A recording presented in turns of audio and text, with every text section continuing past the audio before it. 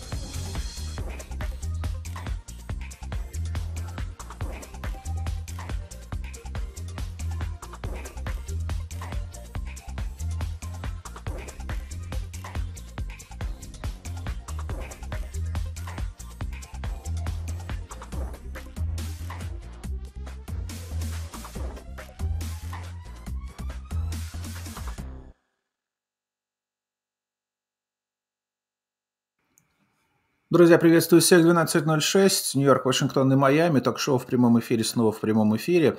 Но, правда, не на основном канале. Основной канал был заблокирован сегодня за, э, чтобы вы подумали, трансляцию СИПАК. То есть в то время, когда мы отвлекаемся на все, что связано сейчас и происходит э, во время войны в Украине и России, а наши демократы не дремлят. Они, конечно же, используют это время для того, чтобы э, подчищать все, что связано с республиканской партией. И делать это все таким образом, э, чтобы вообще не существовало никакого упоминания о том, что существует республиканская партия, что проходят их большие митинги, конференции. Ну, не нужно этого знать, по, мнению YouTube YouTube. Что тут поделаешь? Только та информация, которую вам необходимо знать, о которой вам необходимо говорить, и все, что необходимо, по мнению леваков, делать. Что ж, выходим на альтернативных каналах, как всегда, и вы знаете, что у нас есть альтернативный YouTube, мы вам об этом говорим неустанно, постоянно просим вас подписаться на него, чтобы быть в курсе событий. У нас есть также Facebook, у нас есть также э, Telegram, у нас также есть э, Twitter, у нас э, есть множество платформ Twitch, на которых вы можете присутствовать. Достаточно зайти в описание к каждому видео, э, где находится, зайти в описание и посмотреть, там есть линки э, на все наши каналы. Также можно зайти под шапкой YouTube у нас, и вы можете увидеть также все наши социальные сети, в которых мы только присутствуем. Мы присутствуем везде для того, чтобы оставаться на связи. И огромная просьба в период блокировки особенно, потому что у нас всегда падает монетизация, э, и поэтому мы просим вас помогать нашему каналу, потому что это очень сложно сейчас стоять на ногах финансово, и делать эфиры каждый день э, с понедельника по пятницу, я имею в виду основные эфиры, и эфиры, которые связаны с, нашей, с нашими авторскими программами, также нашу инфоленту держать в курсе событий того, что вокруг нас происходит. А, и так я к нашему чату сейчас и благодарю за модерацию контента. И еще раз э, напоминаю вам всем быть э, ну, лояльными к тому, что нас сейчас атакуют э, всяческие фабрики троллей, и, и, просто люди ненормальные приходят на канал и пишут э, всякие ненормальности, не реагируйте. Еще раз, мнение спикеров и мнение в чате не отражает политику а, нашего канала. Нашу политику канала вы прекрасно все знаете и понимаете, кто следит за нами, кто вместе с нами, кто слушает нас. И мы вас никогда не обманываем, стараемся держать в курсе событий, абсолютно оперируя информацией, которая, по, по крайней мере, хоть как-то а, либо проверена, либо уж ну, не совсем там как-то откуда-то непонятно идет. Поэтому отнеситесь к этому тоже с пониманием. Наши модераторы просто не успевают блокировать и удалять э, все то, что на прямых трансляциях происходит. Э, и, и, и потом еще все эти люди дописывают что-то в комментариях. Поэтому вы знаете, как отличить э, ботов э, от э, того, что реальные люди пишут это раз. Ну и вообще как бы старайтесь не поддаваться на провокации в любом случае. Итак, еще раз э, благодарю за модерацию контента Михалыча, Семена Парнеса, Алойса и Виталия Чайку. Спасибо, друзья, что вы это делаете. Элла Ильяч здесь, приветствует всех сторонников мира и свободы. Мариночка Серова тоже здесь у нас. Спасибо большое, дорогие друзья. Ларисочка Фрумгас тоже здесь у нас всех приветствует. Майкл Китайчук, э, всем привет из э, Герцли. Two Green Frogs 79 здесь, привет из Бостона. Рита Азар у нас присутствует, Элла Голд у нас здесь тоже. Спасибо большое.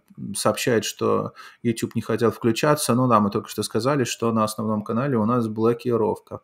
Иришка Тонконоги здесь из Нью-Йорка. Всем передает привет Татьяна О также. А, Галина Литвинов а, здесь у нас а, шлет приветы. И Сусана Бучман тоже здесь у нас. Борис Ринголд, Пенсильвания.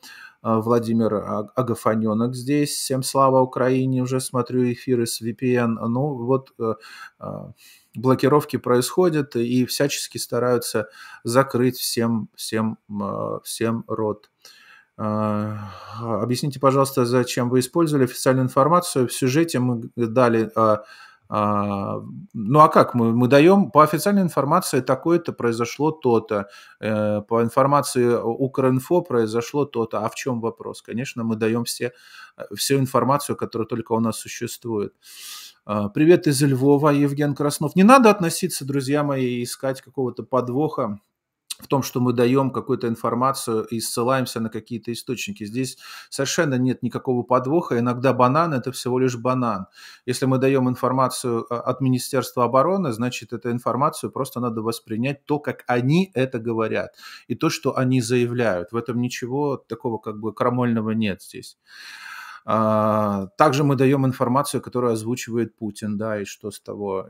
То есть вы слушаете и, и видите, что это абсолютное вранье. Я надеюсь на то, что за больше чем два года вместе с нами вы уже научились э, отображать информацию и понимать, что вам говорят, и что с этой информацией делать. Олег э, Гурбич здесь, шалом, спасибо большое. Сан Саныч, Алекс Алекс здесь. Игорь Бугаев э, здесь. А, спасибо большое за помощь от а, Марины Серовой и от Галины Литвинов. Для нас, особенно сейчас, это очень важно. А, и чтобы давать полностью информацию всем, иметь равный доступ к нему и работать, собственно говоря, выходить в эфир каждый день. Лина Рушинская здесь. Доброе утро. Спасибо большое. Здесь у нас еще кого пропустил. Ирина Зимогляд здесь. Привет из Кливленда. Спасибо большое. Нас все равно не сломят, Иришка Тонконоги пишет. Абсолютно нет, конечно.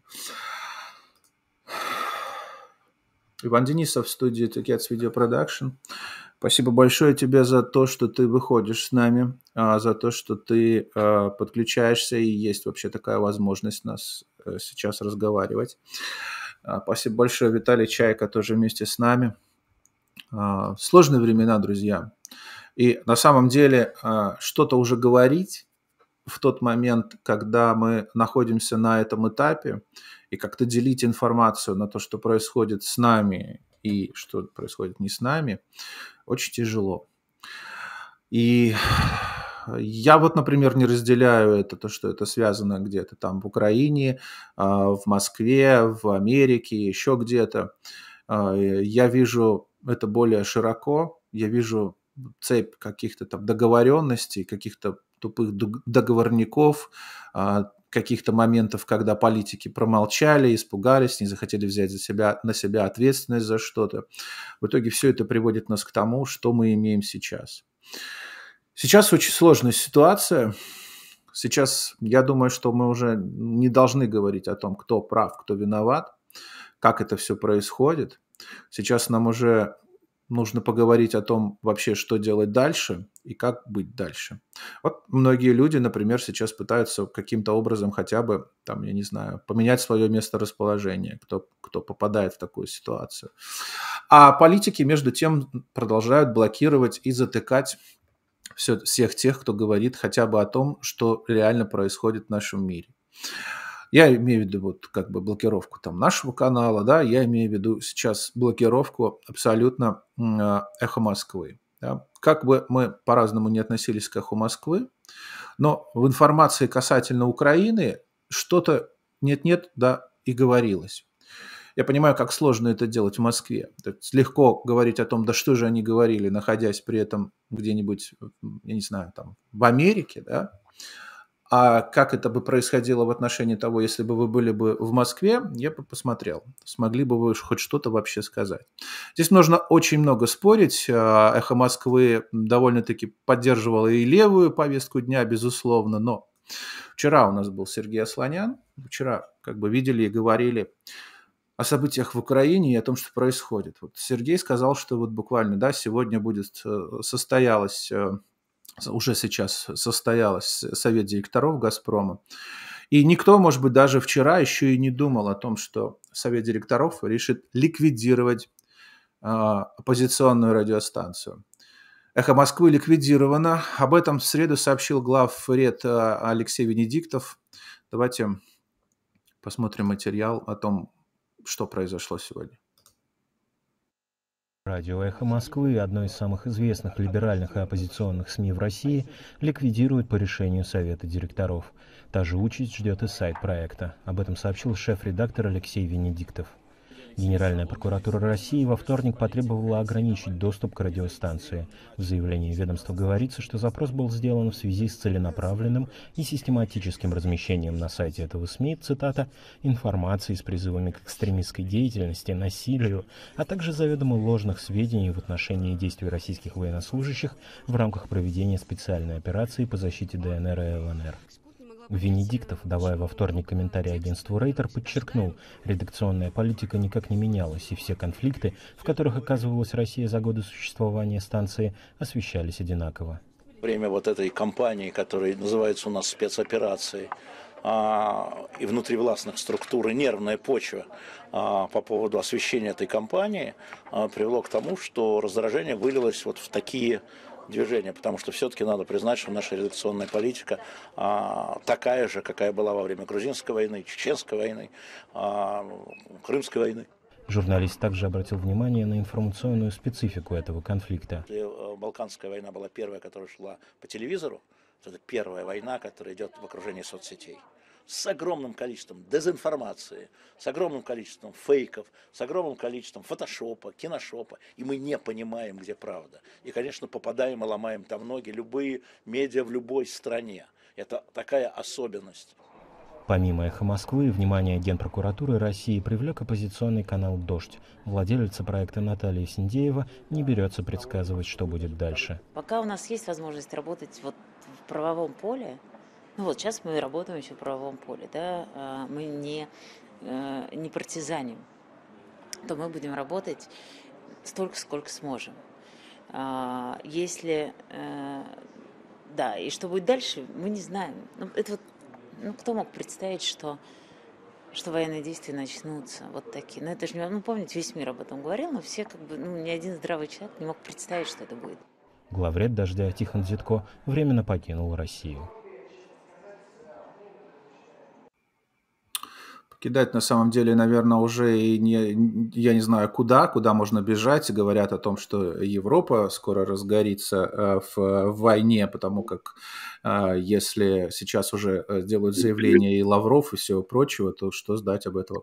Игорь, привет! А, мы представляем привет, тебе всем. слово. Да. Привет. Угу. привет. Привет. Здравствуйте, ребята. Большое спасибо, что вы за вашу работу, за все, что вы делаете. А, что я хотел сказать. Сегодня я разговаривал с, с Одессой. А, пришел, не знаю, как это... Одна правда, тут две, две новости. Одна, то, что один корабль был подбитый. Второй, ребята сказали, мы воевать с, с Одессой не будем. Моряки и сказали, что мы уходим. А, другая новость, я разговаривал с ребятами, с, с которыми служил, с которыми дружил, а, они воюют по, по-черному, молодцы, делают все, что могут. Сегодня я связался, э, это, вернее, попробовал связаться с, сейчас скажу, а, с Марией Авдеевой. Она э, директор э, по исследованию европейских инспекторской комиссии. Это правозащитница. и по помощи э, в Украине. Э, потом э, есть такая Анна Нейстат, но не получается с ней, не знаю, как связаться. Но я тут собрался одну вещь сделать, и думаю, что со временем я выйду и скажу, как это сделать и что сделать можно, чтобы было правильно и красиво. Потому что э, Анна Нейстат подала это, она рассказала про этот суд в Гаге, прокурор принял, и сейчас на рассмотрение они берут все файлы, и с понедельника начинается он, его работа. Так что я думаю, что все будет... Я надеюсь, что все будет хорошо. Слава Украине. Игорь, ну там тема одна есть такая очень странная. Я тоже прочитал эту новость, что он начинает э, расследовать преступления против человечности с 3, 2013 года. Да, да, да. Вот. И там просто там такая ситуация, что вот это я, кстати, тебе это Виталик послал это. Я еще раз тебе пошлю, чтобы ты это э, просмотрел это. Там в Фейсбуке, ты... у меня нет Фейсбука. А там все ссылки. Не, не, я тебе в Инстаграм вышлю. Спасибо. Вот. Она пишет, что на сегодняшний день эта подача идет только э, как бы от э, Зеленского. И Зеленский, э, вернее, прокурор сказал, что... Э, Ты поподробнее расскажи, о чем идет речь, э, что, что это? Это э, по э, геноциду против э, Украины. Угу. Я понял. И... Нет, там идет речь о преступлении против человечества на территории Правильно. Украины. Плюс Но это не значит, что и плюс геноцид. Я потому что я еще не разобрался, но я хочу здесь каждый, я здесь э, просматриваю все эти движок не на файл, я просматриваю, еще не успел, потому что только информация у меня, как говорится, только пришла, я уже с утра сижу на этой информации, посмотрю точно, про, просмотрю, как это делается, потому что я не правозащитник, я не политик, я простой водитель. Вот. И очень тяжело сейчас, это вернее, время пришло, что надо разбираться, но очень тяжело. Вот. И, как говорится, э, она сказала, что типа э, это должно пройти не, не 10 лет, это именно сегодня и сейчас будет. И это переходит в, в суд. И все, кто были виноваты, ну, не считая, что это был президент, все, кто отдавал приказы, кто голосовал даже, э, генералы, до самого сержанта будут наказаны и, э, по этому делу, как говорится. Угу. Извините, я немножко нервничаю опять. Ничего не нервничай, Игорь. Ты в своей, в своей компании, в я своей знаю, тарелке, я знаю. поэтому не стоит вот. переживать. И э, мы сейчас, я сейчас собираю э, это все, послал ребятам, собираю все видео, все документации. Ну, стараюсь как-то что-то помочь. Не знаю, как получится, будем, буду стараться. Если надо будет помощники, я, конечно, обращусь, но пока я сам справляюсь. Вот.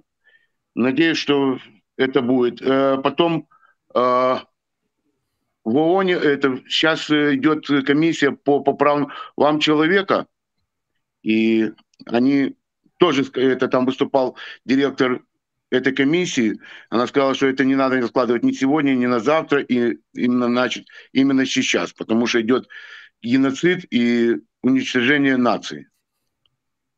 Сейчас, э, я не знаю, конечно, это они так медленно работают, они, бюрократия везде есть, но надо было это делать еще вчера, как говорится. Спасибо, Игорь, за информацию. Спасибо тебе, что ты был с нами, вышел в эфир Спасибо, и поделился. Пожалуйста. Да. Я желаю всем ребятам, всем здоровья, и чтобы э, мы не видели такое, то, что мы сейчас видим. Мы тоже за это, да. Спасибо большое, друзья. Счастливенько, ребята, спасибо большое. Угу. Я напоминаю вам, друзья, что все, любой желающий, кому есть что сказать, могут выйти в эфир по линку и использовать эту возможность, высказаться, сказать, поделиться новостями, а, открытая площадка для того, чтобы каждый имел такую возможность. У кого есть желание, пожалуйста, выходите а, и делитесь тем, что вы как бы можете сказать. Я хочу сейчас вот, Виталик, тебя вот, чтобы ты прокомментировал по эху, да, историю, потому что, э, смотри, э, все источники, которые даже хоть чуть-чуть что-то, вот даже совсем немножко, они блокируются, а, люди, если будут что-то говорить, э, тоже там а, законопроект, да, сейчас еще пока законопроект, но там быстрее работают в Госдуме, чем в ООН, а, и я думаю, что 15 лет лишения свободы тоже как бы это очень серьезно. То есть наступают времена, когда э, действительно э, будет что-то очень серьезное. Европа содрогается и уже получает письменные предупреждения там от Лаврова, там заявления, да. И на самом деле непонятно, что будет дальше. Если вдруг Европа втянут в этот конфликт, то мы уже не будем говорить о локальном э, конфликте, э, э, э войне Украины и России, а мы будем говорить уже о, о нечто более чем-то большом и обширном. И это как раз-таки то, что сейчас э, основная тема номер один. Да. Понимаете, ребята, опять возвращаемся к партитуре, посмотрите. Во всех странах одно и то же. У нас затыкают все, что могут. Вот у нас же сейчас идет, э, даже вот основной канал наш заблокировали. Из-за чего? Что там такого страшного сказали? Вообще ничего. Заблокировали. А эхо, да, безусловно, это тоже то же самое, только смотрите, мне кажется, что это идет в вакуум в каждой стране. А у них сейчас план как нас посадили в свое время по домам, всех напугали, да, болячкой. И то же самое, только сейчас уже более такое глобальное становится. Сейчас Россия изолируется, мы изолируемся, и все. И все, вот информационный вакуум, привет. И дальше каждый творит у себя в стране все, что считает нужным. И поэтому, когда вчера мы говорили, что а кому там интересует Канада, вот это цепь одной из э, звенья одной цепи ведь получается. Сначала неправильно проголосовали, эхо Москвы, при всем уважении к некоторым ведущим, которых действительно я уважаю, э, топили за Байдена. Очень многие люди доверяли эху и повелись на эту штуку, на Альбаце, на всех остальных, на Пархоменко, на Альбац, на Карину Орлову. И вот сейчас получили абсолютно ответку, что вот смотрите, год прошел, эхо закрыли. А держалось эхо ведь сколько лет оно считалось сюда оппозиционным, и Венедиктов попадал под всякие разные неприятности, под прессу и под все остальное, но все равно он держал. Он держал эту радиостанцию, которая считалась, э, что... И «Дождь» то же самое. Сколько э, испытывал не, Смотри, я думаю, я думаю, что держали, потому что хотели представить такой образ э, якобы э, Демократической демократии, Сейчас это уже да. не надо, никому не надо. В том-то и страх, что сейчас это уже не надо, что, что говорит о том, что действия уже пошли в ту стадию, когда это уже и не нужно, и мне становится от этого страшно. Так всем это нормальным людям от этого всем страшно. А когда 15 лет сейчас за пятую колонну, а что такое? Нельзя сказать слово «война» на уроке в России. То есть даже оговориться нельзя, сразу попадаешь под статью. То есть это развязывает руки просто вот как в свое время я а, помню, что мы все боялись, я еще жил в России и работал на телевидении, и все боялись э, слова иностранный агент. Потому что э, каждый раз, приезжая из командировки, ты мог что-то снять не то, да, как бы показалось, и попасть под эту статью. Но это не так... Это первые шажочки были. И все их схавали. И телевидение не кричало, что это такое, как это, ребята, это свобода слова, это же нельзя. А сейчас, смотрите, зажали, зажали, зажали. Значит, что получается? Мы никакой сейчас информации не будем знать ни с какой части Земли. Мы будем знать только в своем районе. И все. Да, и поэтому нам важно очень объединиться и еще раз, нам очень важно иметь ресурс, который, площадку, на которой мы, по крайней мере, можем как-то делиться, обмениваться информацией. Подписывайтесь на наши альтернативные источники. Каждый раз вам неустанно говорим, ничего такого сложного нет, поставить там подписку, зайти туда и быть в курсе. А, и это очень важно. Вот сейчас вот Леночка Бобрусев пишет, ребята, на, на YouTube опять нет стрима. Да, мы заблокированы на основном канале, наверное, просто сейчас только что подключилась. А, просим всех, пожалуйста, подключайтесь на альтернативные источники, подписывайтесь на все. И страшно, если иногда продублируется какая-то информация. Э, в этом страшного ничего нет. Страшно остаться без источника э, доступа к платформе, на которой мы реально можем что-то обсудить, что происходит, и понять вообще, что же это происходит.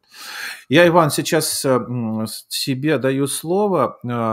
Скажи мне, пожалуйста, вообще твое видение вообще сейчас из Москвы всего этого развития? Потому что вот я разговаривал с одним из своих знакомых, он говорит, уже поздно куда-то бежать, поздно куда-то идти, а, не, от нас уже ничего в этой ситуации не зависит, мы уже все решения свои приняли заранее до этого, голоса, голосуя за вот этих вот политиков, которые допустили до такого, до такого ситуации, и, а, в общем-то, как бы мне хотелось бы слышать твои мысли. Упс, вот, нет звука. Нету, нету. М-м. Перезагрузись, пожалуйста. Нет звука. Ты нас слышишь? Нет звука. А. Не. А, нет, он не слышит. Прямой эфир, друзья. К сожалению, у нас нет звука с Иваном. А, и я надеюсь на то, что он переподключится. И звук а я тебе скажу, что это не касается прямого эфира, потому что все было прекрасно. Сейчас уже блокируется, Google не работает на территории Российской Федерации, получаешь недостоверную Сейчас мы слышим, Иван, ты нас слышишь? Ты нас, да, мы тебя нет, нет звука от тебя. Так. Нет звука. Сейчас попытаемся, попытаемся каким-то образом вернуть звук. Э. А по телефону попробуй, как вчера, потому что, может, это будет хороший шанс, как мы вчера. А, Иван, если ты, сл... если ты нас слышишь, я тебе сейчас на... позвоню в мессенджер. А, ты сможешь ответить, да? Давай попробуем сейчас связаться по телефону через мессенджер. Если есть такая возможность. Да, нас тут пишут, что, скорее всего, Ивана глушат сейчас, и а, просто попробуем альтернативный вариант. Но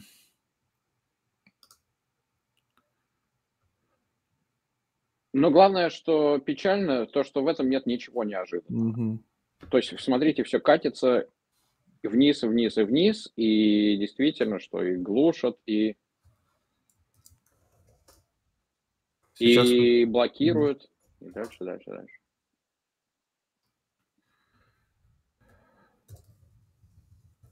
Попробуем еще раз, может быть, перезагрузиться, да? А, попробуем, может быть, появится связь сейчас. Если нет, может быть, тогда выйдем просто на а, на связь телеф... через, через телефон, потому что у Ивана, э, э, он пишет, я через телефон выхожу в эфир, и если я ему звоню, то картинка прерывается. Ну, попробуем сейчас это сделать, да.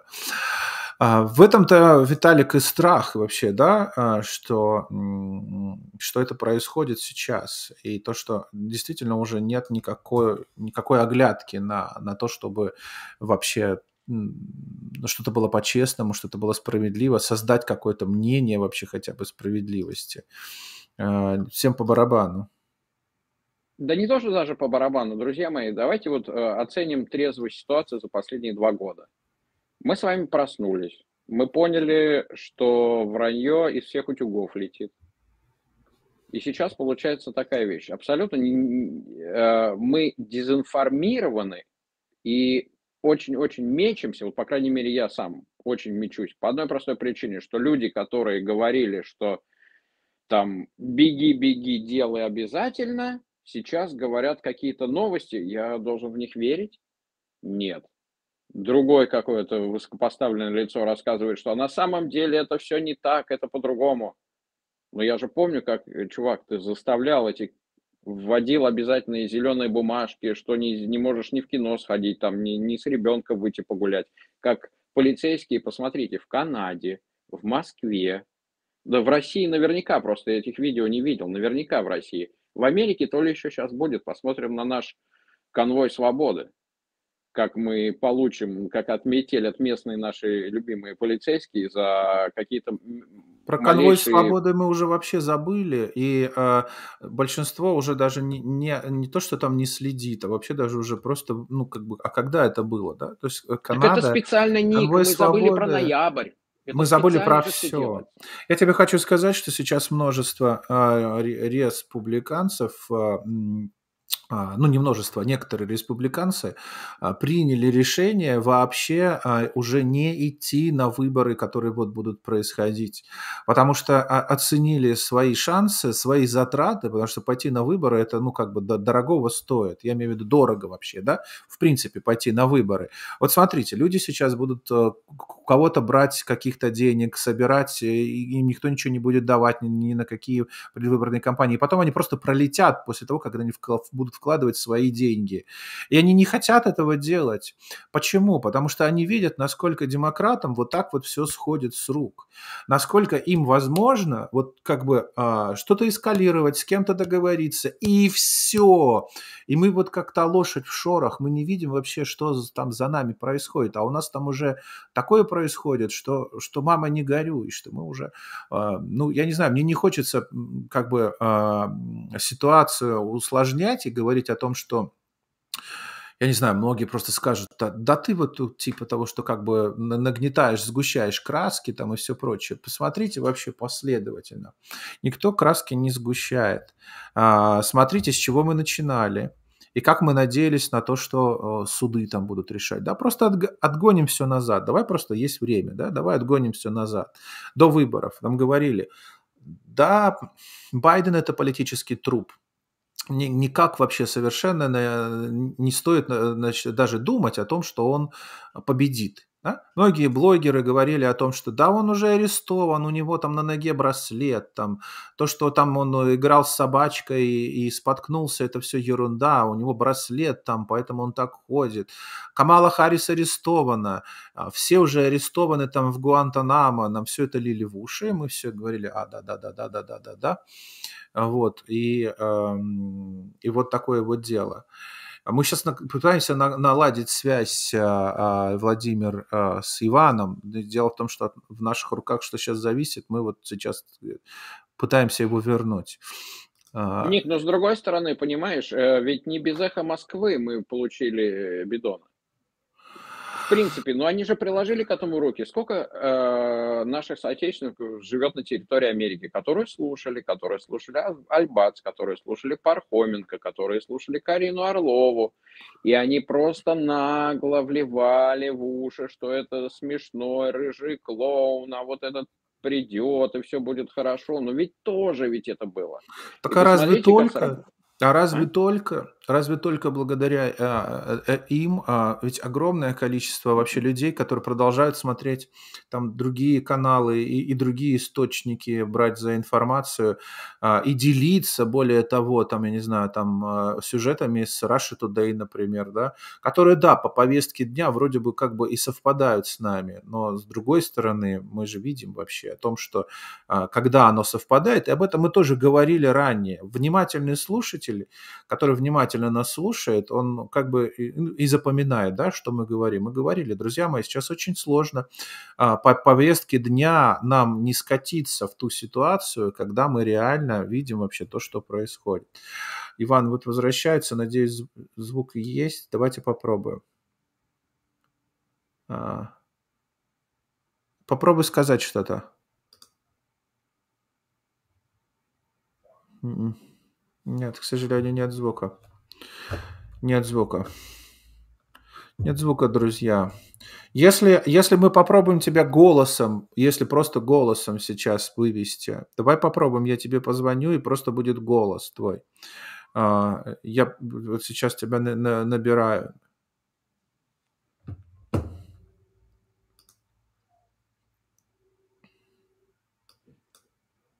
И все равно мне кажется, что вот это безобразие, которое сейчас происходит, это, знаете, как э, пружина, когда ее скручиваешь, скручиваешь. Вот нас, смотрите, всех скручивают, вот постепенно затягивают гайки.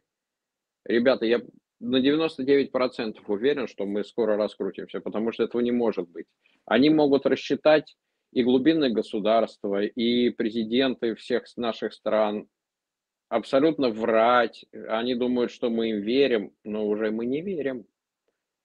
И вот как только это напряжение обратно пойдет, я думаю, им мало всем не покажется.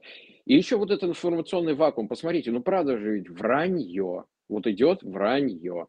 И истравливание, что для меня вообще непонятно. В 21 веке, когда средства массовой информации вроде бы нормально живи и радуйся. Нет. Сначала разделили по одним вещам, потом разделили по другим, потом по медицинским, потом кто за Трампа, кто за Байдена, и, и все. И сейчас уже дошли до точки... Хотя нет, вы знаете, к сожалению, наверное, точка еще и не пройдена, потому что действительно я смотрел, что там Финляндия сейчас очень переживает, потому что ей намекнули, что она сейчас скоро тоже будет в такой же ситуации, как Украина. Грузия быстро сегодня запросилась э, в Евросоюз, что тоже для нее не очень хорошо, потому что понятно, что когда страна вступает в Евросоюз, следующий ее шаг как бы вступить и в НАТО. Поэтому я тоже за них переживаю. И это все, конечно, безобразно, но, ребята, точно должен быть выход, который, которым мы с вами найдем. Во-первых, безусловно, надо готовиться к выборам всячески, разговаривать и поймите тоже, сколько людей проголосовало за Байдена даже. И поддерживали все эти демократические направления. Неужели они сейчас сами этого всего не понимают, какой ужас и какая дырища сейчас из-за этого всего получается в стране в нашей? И цепочка же, опять, хотя меня могут в этом обвинять, но цепь-то идет какая? Здесь смухлевали, протащили то, что хотели, дальше пошло, дальше пошло, дальше пошло, смотрите, Никаких войн не было с 16 по 20 год. Все было миролюбиво, все было, да, какие-то свои, э, свои выгоды каждая страна, безусловно, искала. Но, например, э, вывели все автоконцерны, я вчера смотрел, из России, все, они не будут выпускать машины, продавать. Я сегодня созванивался с московскими ребятами, они прям говорят, все, по, по, по Вайберу, все, давай, давай такого там цветочки, хорошо, у нас скоро сезон, мы будем сеять лук, а ты какой лук в этом году будешь сеять? Все. То есть народ настолько под лавкой сидит, хотя довольно-таки приличные люди, которые, с которыми я огонь и воду в свое время проходил. И тем не менее, надо же было за столько лет вот так вот затянуть морально людей вниз, что они даже не знают, что сейчас делать. В основном же живут в квартирах ипотека, когда пошла, начали улучшать свои жилищные условия. Представляете, что случилось? Сейчас доллар рубль упал, доллар взлетел, значит, ипотека выдавалась в долларах, а зарплаты в рублях. То есть эта катастрофа сейчас будет по всем фронтам идти. Это, это да, это, это тяжкое испытание для всего человечества. Но, с другой стороны, не поняв, как может быть плохо и как мы все это, как мы это сами все пропустили и профукали, мы бы тогда не, не смогли оценить то, что будет впереди хорошее, прекрасное и доброе, к чему мы стремимся. Вот, например, смотрите, я сейчас пробегусь по новостям, пока там Ник немножко занят, отвлеку ваше внимание на себя. А, Икея остановила все продажи в России. Все, закрылось полностью. Дальше. Э, Лаврова я не буду про, с вами говорить, потому что это все абсолютное вранье. Например, а, Байден запрашивает 32,5 миллиарда долларов на помощь Украине в финансировании ковид. 32,5 миллиарда. То есть человек делает свое дело. Сегодня выступала буквально 10 минут назад Нэнси Пелоси. 22 миллиарда она выделяет, но только для Соединенных Штатов Америки. Выделяет сейчас 22 миллиарда долларов на борьбу с этой же болезнью, так сказать, у нас на территории. То есть им по барабану все. Где, у меня вопрос возникает, где правозащитные организации? Где правозащитные организации за меньшинства, те же сексуальные? Где зоозащитники? Где это Грета Тумберг, которая должна кричать, ребята, что вы делаете, вы рушите планету? Это же если здесь на машине я не могу проехать, то извините, пожалуйста, сколько танка БТР выделяет на том же дизеле он ездит, как и я, сколько у него это гарри, чтобы стронуть эти несколько тонн, и, и постоянно работает. Ну, слушайте, почему они все молчат? Керри выступает, рассказывает о, про том, что надо, да, с Путиным говорить, чтобы он не забывал про Green Deal. Вот 1984, четвертая, да, вот книжка, которую мы все любим читать, 1984, она просто детская сказка по сравнению с тем, что сейчас происходит. Это какое-то какое сумасшествие просто, безумие. Дальше и любую новость. Да, кстати, Coca-Cola остается в России. Единственная компания, которая не, не уходит оттуда, потому что они заявили, что 30% их выручки они делают э, в России, получают эти деньги. Так что это какое-то просто безобразие. И, по-моему, у нас и с Феликсом тоже. Вот он хочет подсоединиться, и у него тоже соединения нет. Но это значит уже что-то с интернетом такое происходит, что блокируют, потому что вот я смотрю, Феликс, Боровик, а нету, нету связи вообще безумно никакая. То есть он даже не может выйти. А вот сейчас он даже выходит, по-моему. Тут я, тут. Да, я сейчас вот Друзья Ивана тоже вывожу в эфир. Привет, да, дорогой. ты что-то запоздал сегодня у нас тоже. У меня у меня были э, вопросы по работе, я не мог быть раньше. Ок, ок. Вот. Иван у нас на, на проводе сейчас по, по голосовой связи. Мы, нам удалось до Ивана дозвониться.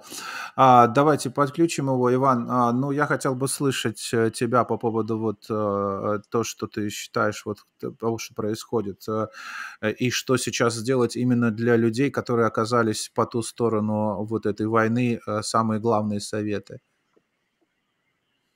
Да, я, во-первых, всех э, приветствую, конечно же, и большое спасибо всем. Вы знаете, я обычно стараюсь комментарии после передачи не читать, но сейчас такая ситуация, что э, положительные какие-то моменты, они нам всем нужны, поэтому всем большое спасибо, кто мою реакцию на происходящее поддержал.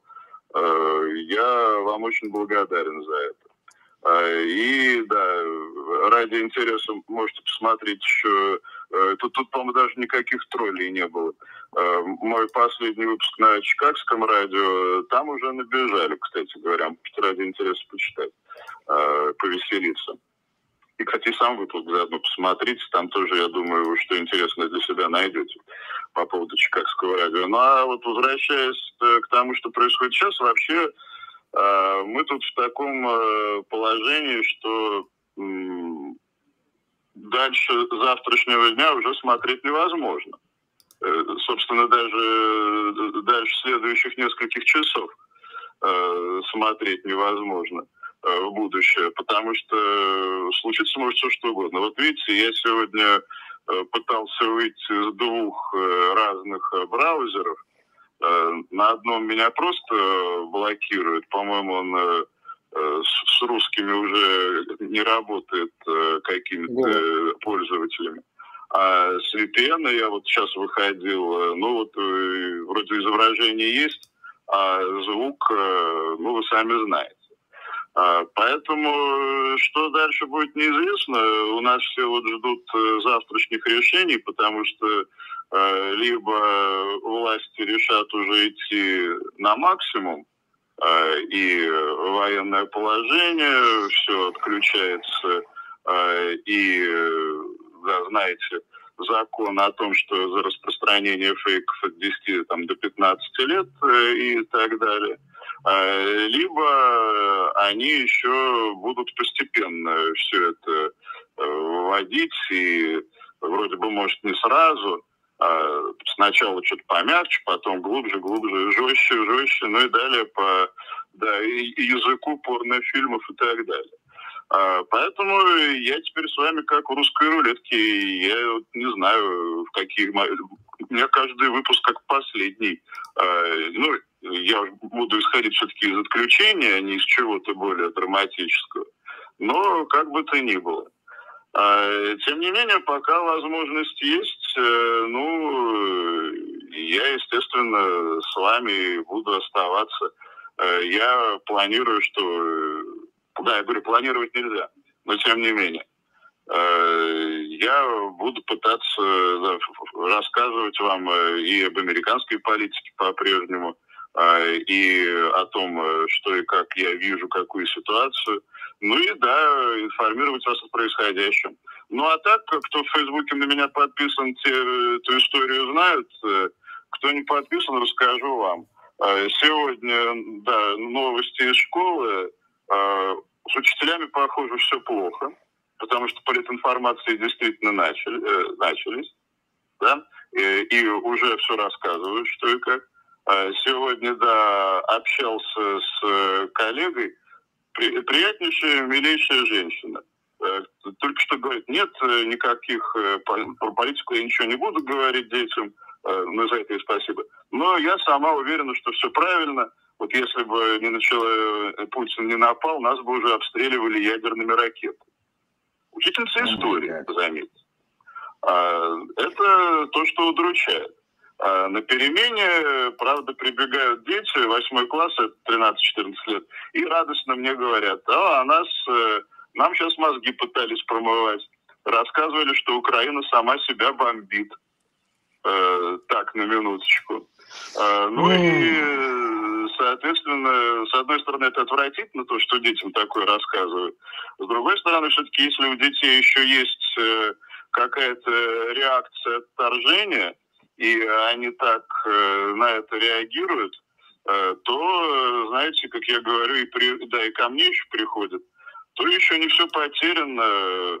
Этому поколению будет хреново, мягко говоря, потому что они получают то, что получают но если у них уже вот в этом возрасте хоть какое-то отторжение всего этого безобразия будет происходить, то, может, еще э, не все потеряно, если их не угробят, конечно.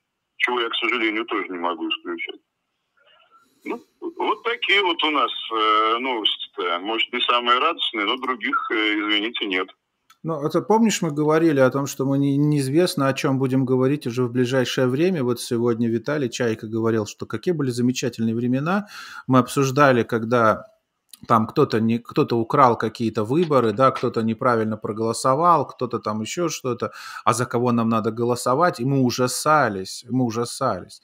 А теперь мы разговариваем с тобой по телефону, потому что какие-то сволочи блокируют и не могут дать возможности вообще, в принципе, выйти нормально людям э, в, эфир, а, блокируют не только вообще ресурсы, да, а блокируют и, в принципе, возможность, саму возможность нормально разговаривать, нормально выходить в эфир, и то ли еще дальше будет вообще непонятно, а, как, и как дальше вообще во всем этом разбираться и что делать.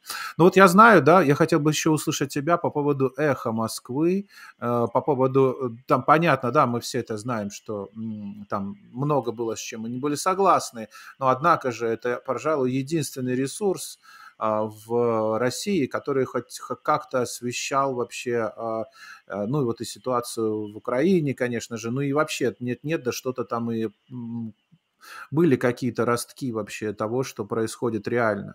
А сейчас уже этого нет. Ну, я честно признаюсь, я ни «Эхо Москвы», ни «Дождь» никогда не смотрел и не слушал. Э, это вот чуждая мне абсолютно повестка, как вы сами понимаете. Но, разумеется, они должны были быть. Такие вещи, они происходят. Но, в принципе, то, что мы с вами увидели, это показатель того, что в России э, либерализм, он во всем мире не работает. Я тоже об этом не раз говорил. Вы, вы сами видите либерализм э, не может противостоять э, тоталитаризму, он сразу разваливается. А в России либерализм радостно аплодировал Путину в 99 году, напомню вам, э, видя в нем спасителя там, от Лужкова и Примакова. И теперь он, соответственно, расплачивается. Я не злорадствую, ни в коей мере нет, поверьте. Это просто как констатация факта что на сегодняшний день э, либерализм, он, э, увы, вот есть что есть. А другое дело, что, конечно же, консервативным силам, прежде всего на Западе, а, надо себя тоже выстраивать, как-то себя а, мобилизовывать. Э, конечно, это слово сейчас вызывает вполне понятную реакцию, но тем не менее. А, и понимать, где какие приоритеты и как себя вести. Потому что, ну, смотрите сами, сегодня Палата представителей делает, принимает резолюцию в поддержку Украины, а против голосуют три консервативных республиканца. Не потому, что они путинские агенты, я сразу говорю, нет. А у них там своя, своя упертость э, изоляционистская. И, возможно, даже заслуживает некоторого уважения, но сейчас этого не надо делать. Сейчас э, э, консерваторам нужен вот этот вот очень важный баланс. Да, у вас для любой партии важнее то, что происходит внутри страны, конечно же. Я это прекрасно понимаю. И, разумеется, республик... консервативные республиканцы – должны быть озабочены тем, чтобы в любом случае э, повестку Байдена внутри страны затормозить, э, уничтожить как угодно. Но есть такие вещи, когда просто необходимо вот э, от каких-то политических моментов на них, от них забыть и вот просто понять, что есть моральные вещи, которые надо поддерживать. Раньше это было. В конце концов, те же самые изоляционисты, которые ненавидели Рузвельта, говорили, что он втянул Америку в войну, что он это сделал, чтобы отвлечь от э, провала нового курса, они его поддерживали в, э, в войне, потому что, ну, другого не было выбора. Консерваторы 60-е годы терпеть не могли Джонсона, они во всем это его отрицали, отвергали. Но Вьетнам, как противостояние коммунизму, там они были на его стороне. То же самое и здесь. Э, нужна вот эта вот четко выдержанная система для консерваторов. Во-первых, осмысленность того, что да, у нас на первом месте американские проблемы, само собой, и они четко понятны. Иммиграция, э, ковид и тирания. Э, кстати, вы обратили внимание, что Сенат тут отменил мандат для медработников из-за того, что там нескольких демократов не было, и провернули. Получилось, что у республиканцев большинство они это сделали. Э, так, к слову, с чем я вас и поздравляю заодно. Но как бы то ни было, еще раз, э, прежде всего внутренние проблемы, да, но по поводу проблем внешних нужна вот эта вот четкая, э, сейчас я понимаю, время другое, но тем не менее, ну давайте я буду называть ее Рейгановской. Рейгановской позиции, что да, есть враг, и надо против него сплотиться. И Байдену нет э, в вопросах внутренней политики, Э, ни в коем случае э, нет категорически в вопросах Ирана, там снятие санкций и так далее. Никаких заигрываний с Китаем, но если хоть в чем-то Байден что-то делает и противостоит нынешнему российскому режиму, то здесь э, нужна, ничего не поделаешь, его поддерживать придется. Пусть даже только в одном вопросе. Но от этого никуда не деться. Поэтому здесь э, я полагаю, что так, для консерваторов и республиканцев проблемы серьезные, нужен баланс, но э, тем не менее нужно понимать, да, проблемы есть, но нельзя забывать и об опасности из них. По поводу Вьетнама категорически не согласен, э, потому что очень многие нынешние уже авторы признают, что когда Запад отказался добивать коммунистов в Вьетнаме, он открыл ворота тому, чему, что мы имеем с вами сейчас. Поэтому э, в Вьетнаме надо было доводить все до конца, тем более такая возможность э, была. А я напомню, как только американцы оттуда ушли, там за три года погибло больше народа, чем э, из-за репрессий, из-за беженцев и так далее, чем за все время Вьетнамской войны. Но это так, к слову. А, а в любом случае у вас вот ситуация сложная, но ее выстраивать нужно. А у нас пока ситуация тупиковая. Ну вот смотри, ситуация, ты говоришь, у нас, у вас, и, и это то, что, в принципе, почем мы все-таки имеем разногласия. Я эм, хочу спросить не только я, на самом деле, и Оксана Корней. Вот она пишет, как ты думаешь, Иван, э, может, ПУ с Бидоном договорились уже и до войны? Почему нет никакой реакции от Америки, кроме как озабоченность? А я бы даже сказал, что не то, что нет реакции, а Байден довольно-таки в радостном настроении, у него все хорошо. Э, на позавчерашнем обращении обращении к нации он чувствовал себя великолепно, радовался и говорил о том, что да, все прекрасно, о чем речь, какие-то какие проблемы, нет, нет, никаких проблем вообще совершенно нет. Ядерный удар, нет, ничего не будет, все это, все это, все это фигня. А, я вот думаю, что, опять же, не бывает принятия каких-то геополитических решений больших, если президенты а, до этого не договорились, и об этом как бы было уже официально заявлено, не мои сейчас слова, в октябре месяце уже было понятно, в октябре прошлого года, как будет развиваться ситуация в Украине. И с октября месяца, вот, вот сейчас уже март на дворе, да, мы видим, да, сколько месяцев на самом деле эти чиновники уже знали, что это будет происходить и как это будет происходить.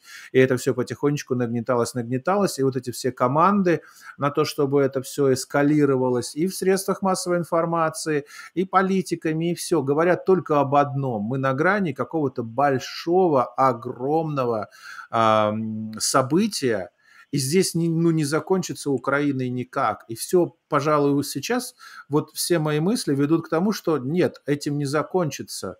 Это только как бы промежуточный этап. Это может быть даже начало большого-большого военного пути. Возможно, даже Третья а, мировая. Во-первых, смотри, э, какая штука. Вот э, ты говоришь, что с октября все было понятно. Тем не это менее... не я, это, это по официальной информации. Не буду, не, не, не буду вспоминать, кто это был, и чтобы там меня не ловили на ошибках. Но были такие. Кто две недели назад говорил, что вся история с Украиной – это мистификация. Это были, к сожалению, люди вроде как консервативные и республиканские, да? Они говорят, что это все придумал, э, придумали Салливан и Блинкен, э, никаких э, не будет боевых действий, не обращайте внимания, это все неправда. Было такое? Ну, ну согласись, было. Там как бы немножко а, не поэтому... то, что не будет боевых действий, а там, бы, там было вообще, что это в принципе придумано для того, чтобы выйти на другой этап, для того, чтобы э, Байден смог ну, как бы... Нет, отрицание того, что ничего не будет. Ты уж поверь мне, я помню. Вероятность боевых действий равна нулю. Э, там э, количество военных на границе с Украиной ничуть не больше, чем обычно. Ну, говорилось это, вообще. Это Давайте да. не будем это Это да. Ну, оно и сейчас их немного поэтому, там. Даже да, после того, как действия начались. происходило такое. Так что здесь опять, э, если виновных не стоит искать только с одной стороны, Э, неприязнь к Байдену мешала очень многим его оппонентам увидеть опасность того, что происходит сейчас. То, что была какая-то договоренность, э, возможно, но она вышла из-под контроля. Сейчас это уже понятно. Э, и сейчас уже говорить о том, что они там все поделили, ну, не получается никак. Потому что в такой ситуации Э, мы летим э, пока, мы тут в свободном падении, и не видно, когда оно остановится. А, и что будет дальше, неизвестно, потому что э, на очереди Швеция и Финляндия, понятное дело, которые хотят уже в НАТО вступать, а, и ясное дело, что этому будут препятствовать. А, и что дальше будет, мы не знаем, поэтому сейчас я лично не вижу смысла Э, в разговоре о том, что э, была договоренность или нет. Э, когда все успокоится, надо будет разобраться. Сейчас главное это прекратить то, что сейчас происходит, и пытаться хоть что-то уберечь от, от моей страны, потому что, то, что ну, понимаешь, у нас сейчас такая ситуация, что если мы выигрываем, мы становимся Северной Кореей. Если мы проигрываем, мы становимся провинцией Китая так если честно сказать. Потому что э, и тот, и другой вариант, э, он для нас э, понятно какой. А, и это надо останавливать. Ну что я уже вижу в западной прессе? А, уже вытаскивают всяких этих мершаймеров, которые пламенные борцы с израильским лобби и рассказывают, что Запад вообще виноват. Я вот в Фейсбуке пролистываю новости этих двух каналов, которые я смотрю, это GB News и Sky News Australia. Там полным-полно. Я не знаю, тролли это или действительно идиоты, но мне лень проверять. Но там огромное количество комментариев, они идут первыми, что да нет, это все пропаганда, это все неправда, Путин хороший, Путин замечательный, не верьте, это все Украина во всем виновата, Запад во всем виноват и так далее, и так далее. А, и уже очень, э, не скажу, что многие, но я уже вижу и в западной прессе такие заголовки, что а давайте Путину дадим возможность уйти достойно из Украины. А вы понимаете? Каким образом, кстати, каким образом достойно уйти? Кстати... А, а вот пока, к счастью, э, рецептов нет. Но понятно, какие рецепты, что Украина должна там отказаться, наверное, от половины своей территории, от э, своих каких-то попыток закрепиться в Европе и так далее. Но как только вот эта идея, она выйдет на первый план, э, я понимаю, почему она выйдет. Тут просто, знаешь, когда война, война затягивается, многие говорят, что это полезно, чтобы поймут, что это такое, начнется э, какое-то осмысление, увы, нет. А западный мир, он э, сейчас боится войны. Я понимаю, почему там, современное оружие и так далее, непредсказуемость действий путинских. Но какой-то момент, когда вот это количество негатива, э, разрушения, жертвы, оно неизменно возьмет вверх. Э, просто ну, люди не могут, ли, э, людей либо притупится восприятие, что тоже опасно, э, либо люди станут говорить, да сделайте уже хоть что-нибудь, дайте уже Путину хоть что-нибудь, но прекратите это. Я могу понять такую точку зрения. Э, но это не выход, к сожалению. Это означает, что он получит свое и потом опять вернется. Ты знаешь, у нас сейчас вот Александр на прямой связи, и э, мы хотим его подключить. Александр, приветствуем тебя, привет. Привет, ребята. Меня слышно? Да, великолепно. Да, прекрасно. Ник, смотрим вас с женой э, самого, так сказать, открытия вашей передачи. Все время вас поддерживаем. Э, это я, Сашка ЭПФ тот, кто не знает. Э, Приветствуем тебя. Да, ну вот. Э, э, что хотел сказать. Мне кажется, что самая главная проблема, которая сегодня происходит, это то, что думают наши россияне. Я сам москвич, как и товарищ Чайка. Да, здравствуйте вам. Вот э, меня просто в ужас приводит то, я общаюсь со своими друзьями из Москвы, я еще не общался ни с одним человеком, который бы поддержал, так сказать, нашу политику партии по поводу того, что происходит в Украине, соответственно. Такое впечатление, что люди просто смотрят, сидят э, у телевизора и смотрят 25-й кадр. Все буквально, буквально все говорят одно и то же. Фашисты, нацисты, наш режим спасает Украину от нацистов. Причем люди, которым уже и 60, и 70, и 80 лет, говорят все одно и то же. Единственное, связался тут с ребятами, с молодыми, ну, по 25, по 27 лет, там, по бизнесу немножко делаем дела, так э, обрадовался, что эти ребята говорят, мы телевизор не смотрим. Но разговариваешь с москвичами, тебе полностью передают все, что идет по телевизору в России. Потому что я тоже начал слушать НТВ, мне интересно, что им говорят. А им, кроме того, что происходит бои там э, в Донецке и в Луганске, больше они ничего не знают. И они спасают Украину, Украину спасают от фашистов и нацистов. Вы можете себе это представить? Турдом. И объяснить им, объяснить им просто невозможно ничего. Послушав э, Соловья, не Соловьева, а Соловья, я знаю, вы знаете, кто это такой, тот еще чудик тоже там. Но последнюю передачу, третий раздел его, я отсылаю всем, где он говорит – в, это, в этой передаче он говорит правильные вещи, как ни странно, да, и говорит, сколько погибло нас там и так далее и тому подобное. Но в конце этой передачи он говорит, не надо никому ничего доказывать. Не надо никому ничего. Вы, вы наживаете врагов среди близких. Я сейчас разговаривал с братом, он говорит, ты не представляешь, люди звонят э, родителям своим в Россию, кидают трубки, родители на детей кидают трубки. Ругаются брат с сестрой. Здесь, в Америке, ругаются со своими родственниками, которые находятся в России. Но я считаю, что наша задача, мы можем говорить все, что угодно, на передачах, на что угодно можно говорить, но я считаю, что наша задача как-то стараться донести до них ту информацию на самом деле, что происходит, что идет война, что погибают люди, дети, всякие эти Платошкины, Хуешкины, их слушаешь, просто, блядь, диву даешься, что они говорят. Просто и это слушают наши россияне. Просто как долбоебы у меня слов нету. Ну вот я, так сказать, выразил свою мысль. Очень было приятно пообщаться. Так же, как и Феликс. Красава. Спасибо большое.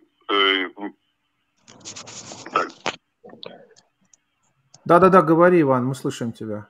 Да, спасибо большое, что, да, я, в общем-то, увы, оценка довольно точная, и надежда вся на молодых людей, потому что, в принципе, если бы в стране была хоть какая-то осознанность происходящего, э, реальное сознание, то вообще все бы это закончилось очень быстро, потому что если бы родители отказались отправлять своих детей туда, на войну, если бы вузы рус, все вместе объявили, что они прекращают сотрудничество с военкоматами, все, потому что со всеми вы ничего не сделаете просто-напросто. А, и если бы а, вот э, школы все, опять же, отказались э, участвовать в пропагандистской кампании, то все, бы все закончилось сразу же. Я не говорю, что это была бы революция. Это было бы просто понятно, что ну, с такой нельзя воздействовать на такую публику, когда большинство тут э, противоречит вам. А у нас, вот сами видите, завтра это опять я возвращаюсь, потому что это правда важно. А, слуги народа будут принимать законы, по которым вообще неизвестно что, а, и по которым э, ну, вы же сами знаете, будут э, сажать и так далее, и так далее. И там огромные перспективы безрадостные, что и как будет происходить.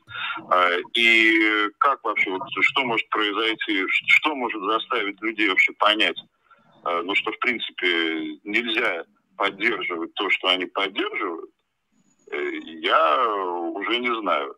Э, дети, Иван, я они понимают, что когда им все обрубают, э, вещи красивые, интернет, Э, видите, все-таки общество потребления, ну, как ни странно, имеет свой положительный момент, да, и капитализм, э, он же действительно нам помогает. И когда вас всего этого лишают, э, тут ты немного понимаешь, что и как. А молодые люди, они все-таки больше на это ориентированы, на Иногда это заканчивается плохо, они также ориентированы там и на всякие глупые идеи, но э, на то, что вот на все эти прелести капитализма, я говорю сейчас без иронии, э, они их воспринимают гораздо лучше.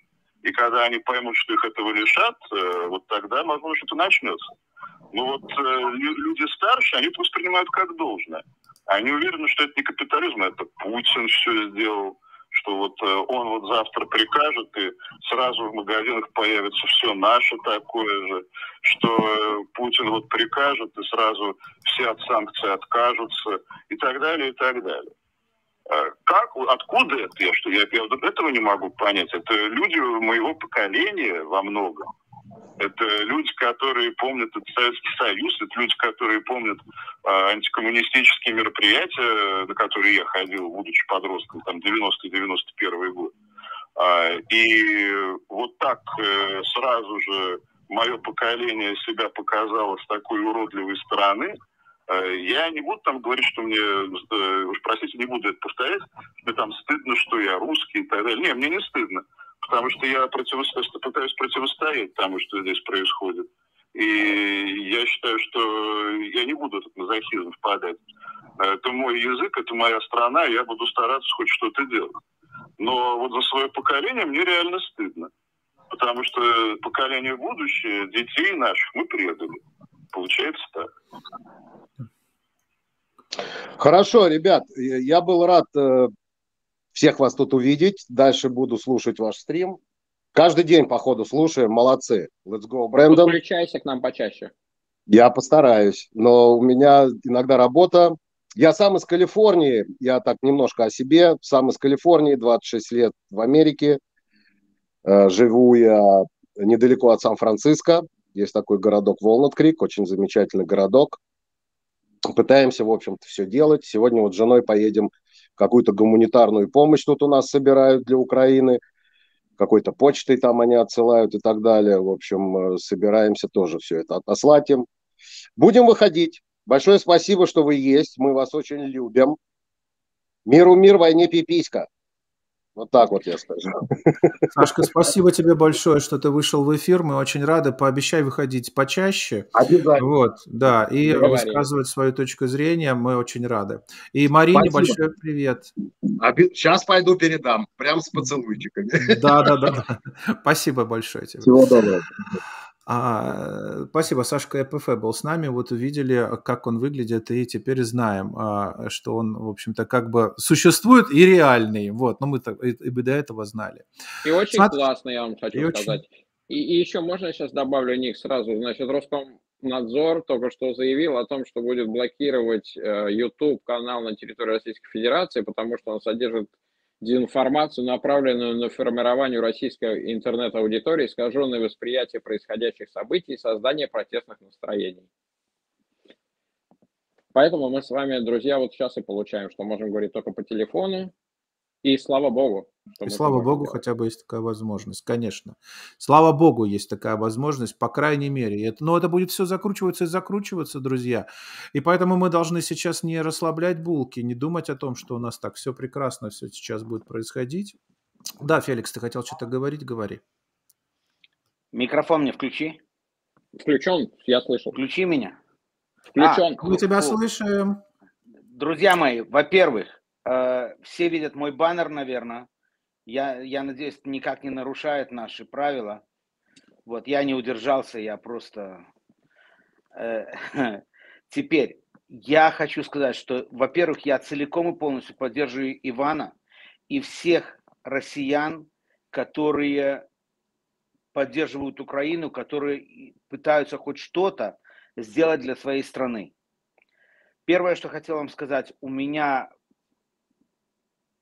эмоции зашкаливают из-за того, что я увидел видео из Харькова, где люди целыми семьями заполняют бутылки коктейлей Молотова там пенопластом и бензином. И я увидел картинку, где родителям помогают маленькие дети.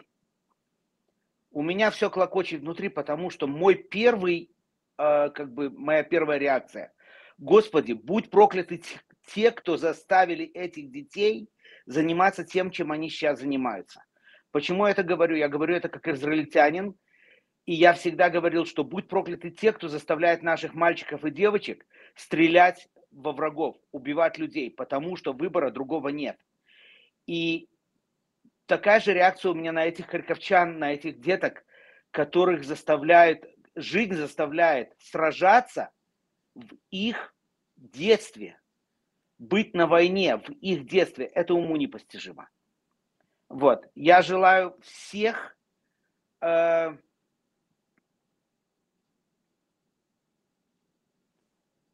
Звук пропал сейчас, мы тебя не слышим. Пожелание, Нет. Дед Мороз, говори. Я желаю всем, и все пропал звук. Феликс. Нет, мы не слышим тебя. А, попробуй перезагрузиться, пожалуйста. Но это прямой эфир, друзья. Мы не слышим тебя, нет звука. Нет звука, просто пропал звук. Но мы видим, как пропадает звук, да, как он появляется. А, Очень жаль, конечно. Попробуй пере- пересоединиться, перепереключиться. А, Пока суть до дела, я хочу вам сказать о том, что а, Генеральная Ассамблея ООН потребовала от России прекратить операцию в Украине. 141 страна поддержала проект резолюции ООН, осуждающий военную операцию России в Украине. Давайте посмотрим, э, как обстояли дела, и поговорим об этом. Now begin the voting process.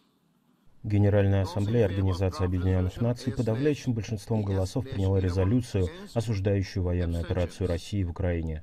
ООН потребовала, чтобы Москва прекратила боевые действия и вывела свои вооруженные силы. Резолюцию приняли на чрезвычайной сессии, созванной Советом Безопасности. Последний раз такое происходило в 1982 году. Документ поддержал 141 из 193 членов Ассамблеи. Каждый голос в поддержку резолюции и каждая подпись страны, проголосовавшей «за», будут историческим подтверждением Устава ООН. Очень легко, дамы и господа, подписывать документы в мирное время, но наш долг — подтверждать и выполнять Устав во время войны. Постпред США в ООН Линда Томас Гринфилд назвала это чрезвычайным моментом и потребовала привлечь Москву к ответственности за нарушение международного права. Представитель России в ООН обвинил западные правительства в оказании давления на членов Ассамблеи с целью принятия резолюции.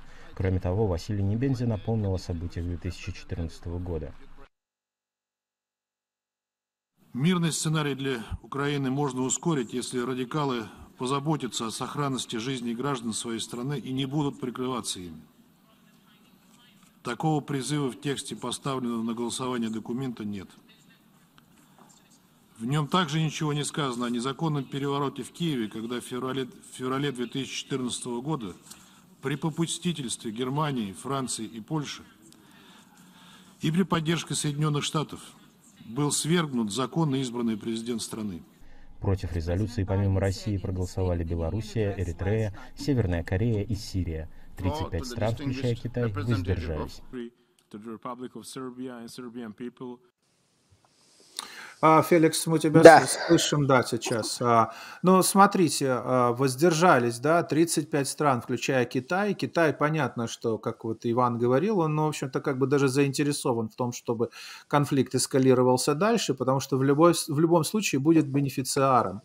Также бенефициаром будет, по сути дела, и Америка, уже мы видим, да, я имею в виду Байден, режим Байдена, не имею в виду Америку в целом, абсолютно нет. А, они будут в, в прибыли. Вот кто не в прибыли в этой ситуации, так это мы видим сейчас невооруженным глазом. А, И ситуация, которая будет сейчас происходить, похоже, она и, и, и даже Путину, ну, в общем-то, как бы уже не... э, Вот то, что говорил Иван, что-то пошло не так, что-то пошло не так. Потому что похоже, что Путину она тоже невыгодна. Иван, скажи мне, пожалуйста, вот как ты думаешь, выгодна ли эта ситуация, как она разворачивается сейчас а, а самому Путину или уже нет? Что-то пошло не так. И что? Э, э, Понимаешь, сейчас уже непонятно, э, что там у человека творится в голове, потому что, уже признаемся честно, мы с вами не можем. У каждого безумия, у каждого диктатора есть своя логика, но нам ее не понять, Потому что даже я, э, опять нескромный о себе, человек, который всегда ждет всего худшего от любого авторитарного режима, и человек, который гордится нескромно тем, что я продолжаю мыслить категориями холодной войны э, и оказываюсь прав, увы. Но даже я тоже, вы помните, до последнего не верил, что до этого дойдет. Можете сами наши эфиры проверить, я бы этого и не скрываю. Что я все время говорю, что нет, ну такого ну, не может быть, потому что это, ну правда, зачем? Смысла этого нет. А теперь э, я уже не представляю, что и как э, будет происходить дальше, и уже да, представить, э, какой, куда его занесет еще, и что он, собственно, придумает, э, и, и вся эта его компания. Э, Я даже не, не пытаюсь угадать, потому что, ну, понятно, что э, я при всем своем этом складе ума холодной войны, мое погружение в американскую и западную историю и культуру меня, видите, уже тоже немного оторвало от отечественных реалий, и какие-то вещи я, увы, не смог предугадать. Что чего себе не прощу, конечно. И сейчас, понимаешь, сейчас все ситуации для, для Путина, я не знаю, меня вообще волнует в последнюю очередь. А для России все ситуации невыгодны. Потому что, ну, я уже сказал, победа в Северной Корее полная изоляция. А поражение, это значит, э, мы попадаем в объятия Китая, а понятно, кто в этой ситуации будет за главным. Да? А дальнейшее увязание в войне – это э, обнищание страны, э, гибель молодых людей. И оба эти момента из Кореи и с Китаем, только они будут в замедленном э, действии происходить. Либо в одну сторону, либо в другую. А, И как э, спасти э, Путина может только Запад, как я и сказал. Если предложить ему ряд, окажут давление на Украину и предложить ему ряд каких-то уступок со своей стороны, и тогда, да, потому что я уверен, что сейчас это еще не афишируется, но я абсолютно уверен, что уже и в Госдепартаменте, и среди экспертов уже есть мнение, что если Путин уйдет, то будет еще хуже. Э, я уверен, что такие мнения уже скоро будут озвучены, помяните мое слово, что там есть еще более страшные, это всегда так работает. А, поэтому э, здесь, э, с одной стороны, как я уже сказал, ситуация для страны кругом нулевая, а вот вождь, он может выиграть потому что и как э, э, э, Госдепартамент попытался спасти Советский Союз и Горбачева, правда, не получилось. А вот странным образом, но нынешняя ситуация может привести к тому, что Запад еще будет спасать Путина. Это интересно, каким образом у него получится. Абсолютно, я не знаю. Давай, Феликс, ты как считаешь, э, получится ли спасти Западу Путина вообще, учитывая, что ситуация развивается так. Ведь Байден ведь сказал, этот конфликт можно легко, легко вот так вот решить дипломатическим путем. Ник, ты ну, понимаешь, ты понимаешь, какое дело? С нашей позиции, вот, с пози... ну, слушайте, я обыкновенный американец из штата Колорадо, и мне судить о том, как будут развиваться события дальше – мне очень-очень сложно. У меня, например, сложилось впечатление, что это была ловушка для Путина вообще. Я об этом задумывался. Я не знаю, насколько это правда, но похоже, что он попал в расставленный капкан, и на сегодняшний день бенефициарами всего, что происходит, будет только Китай и, наверное, частично Америка. Все остальные в полной жопе. И Европа, и Россия, и Украина в том числе. Вот, Украина именно потому, что война э, оставит столько бед, что им придется еще очень долго выкарабкиваться. Мне сложно судить об этом. Я просто хотел сказать, э, из-за того, что вот у меня прервалась связь, я не думаю, что кто-то специально это делает, я думаю, что это технические проблемы.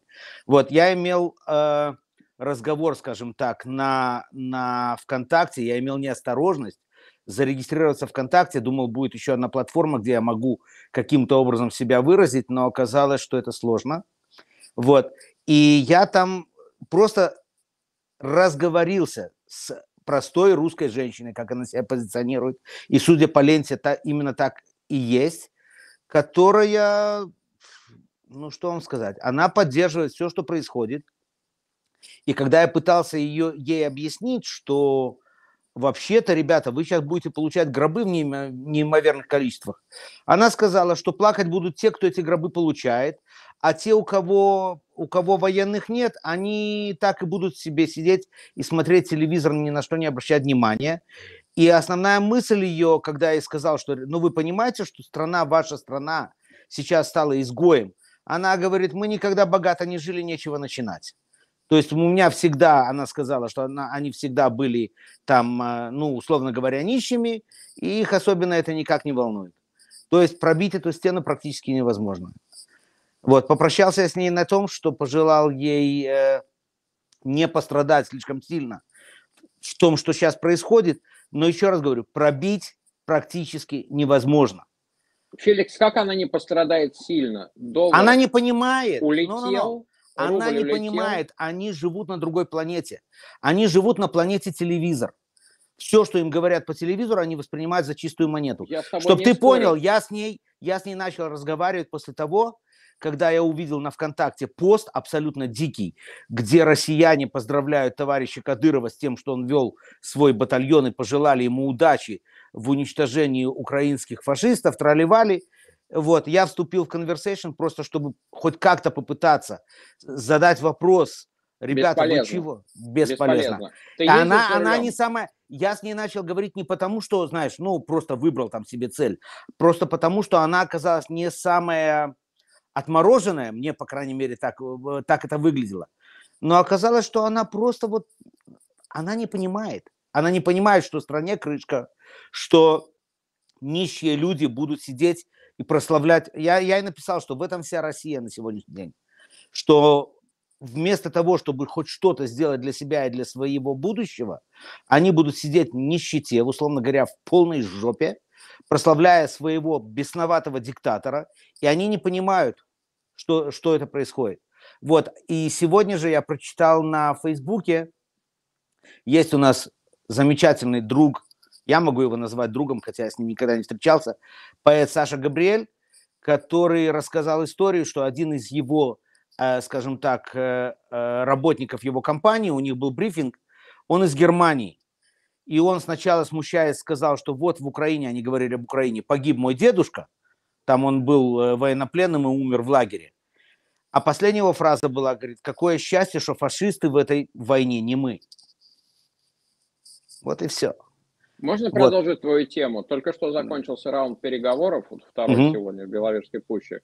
Мединский сказал о том, что Россия и Украина смогли найти понимание по части пунктов на переговоров. Это первое. И второе, Владимир Зеленский выступил, а, дал интервью с средством массовой информации и сказал, что Германия должны, а, должна быть одним из гарантов безопасности Украины. Ребята,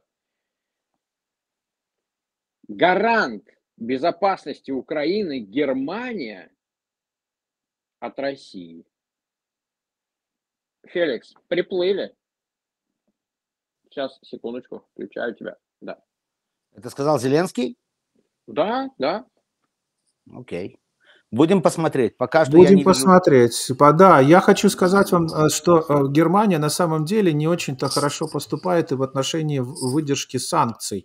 Вот, например, э, Германия не конфисковала яхту Алишера Усманова, власти Гамбурга сообщают. И Германия, похоже, не очень-то настроена на то, чтобы входить с Россией в открытый конфликт, несмотря на то, какая ситуация сейчас уже возникает и что происходит. Давайте посмотрим сюжет. Власти Германии не конфисковывали яхту Алишера Усманова, заявила в четверг представитель Управления экономики и инноваций Гамбурга. Ранее о блокировке судна российского миллиардера сообщил сайт журнала Forbes со ссылкой на источники в яхтенной индустрии. Основатель USM Holdings и еще 25 видных российских политиков и бизнесменов ранее попали под санкции Европейского Союза в связи с военной операцией России в Украине. По данным Forbes, 156-метровая суперяхта «Дилбар» находится в порту Гамбурга на севере Германии на ремонте на верфях Блом плюс ВОЗ. Спущенная на воду в 2016 году, Дилбар является крупнейшей моторной яхтой в мире. Ее стоимость оценивается почти в 600 миллионов долларов. Судно строили более четырех лет.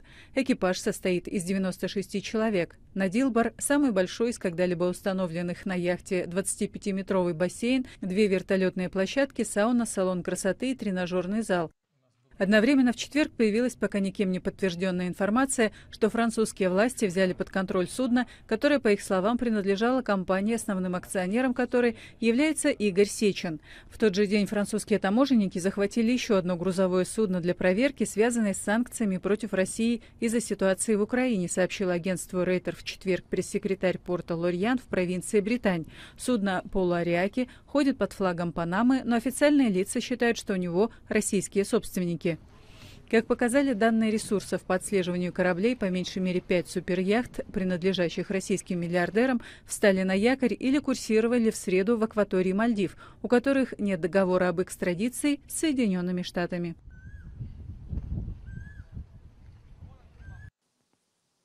Замечательно. Замечательно, но... Я говорю, замечательная история, правда? Что Ник, Германия... но, Ник, но я хочу тебе сказать, Германия, Франция, любая Европа. Все это меркнет на фоне того, что наша страна, Америка, продолжает каждый день закупать 22 миллиона баррелей в России нефти. Вот это вот действительно позор. А яхты Усманов, это, это все, э, евреи говорят, халемис. Так а это как все... же им деваться-то с нефтью-то? Где закупать? Кистон, Кистон открыть. Ник, ты пропал. Звук.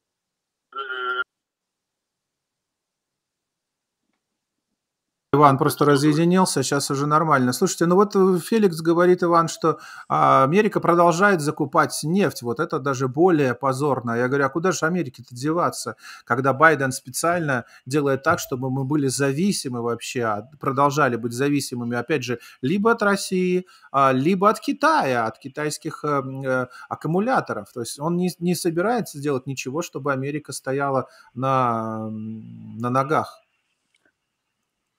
Ну, это вот о чем я и говорил. Э, то, что, и, и тоже повторюсь, это старый э, лозунг еще Второй мировой войны, насколько я помню, что victory begins at home. Победа начинается дома всегда.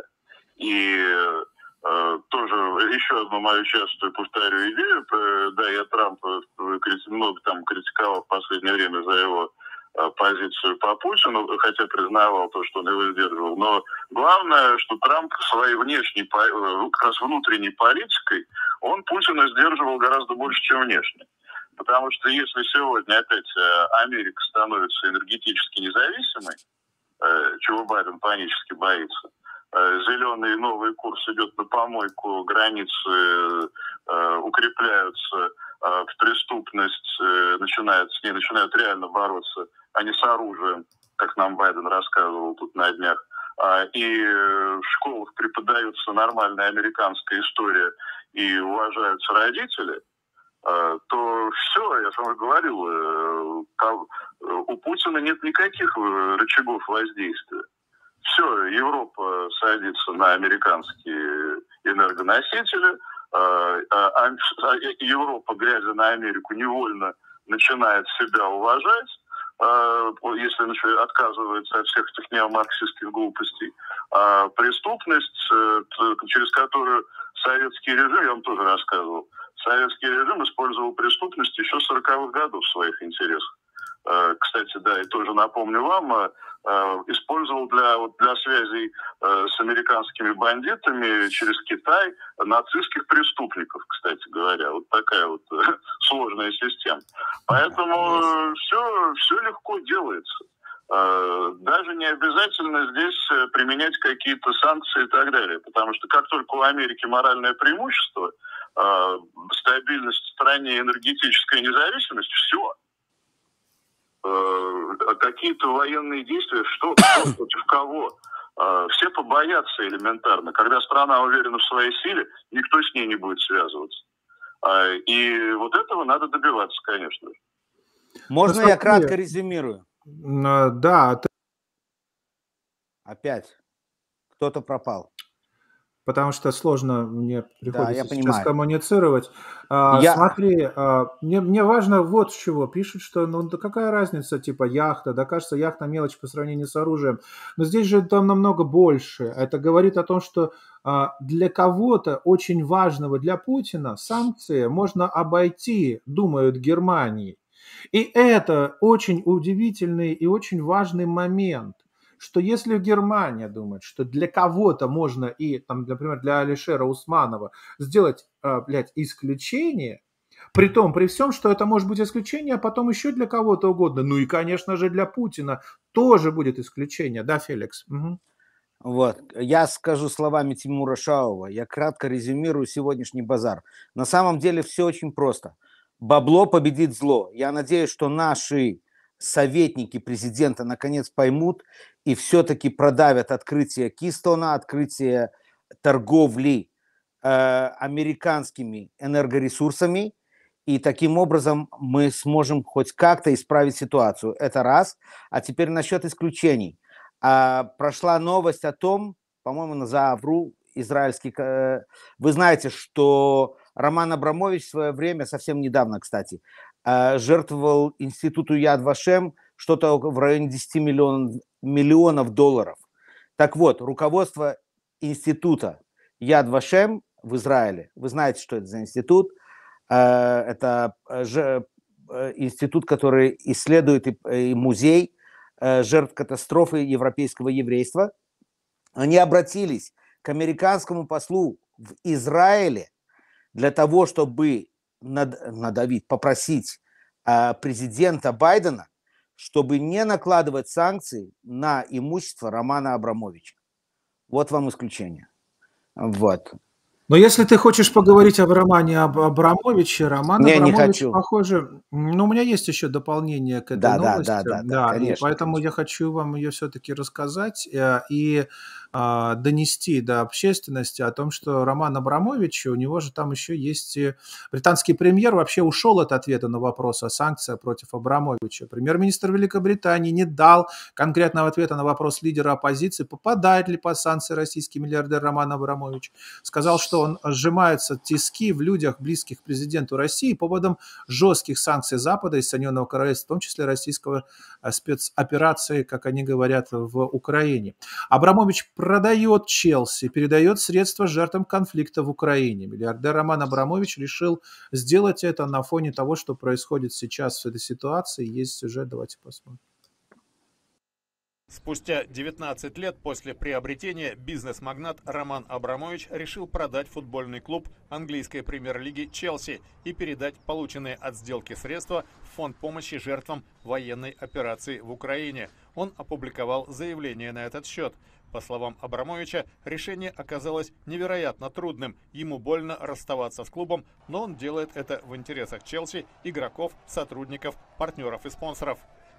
Фанаты в Лондоне выразили огорчение по поводу предстоящей продажи, но говорят, что понимают, чем она вызвана. Российский владелец кое-что сделал для клуба, который я люблю. Жаль, что он уходит.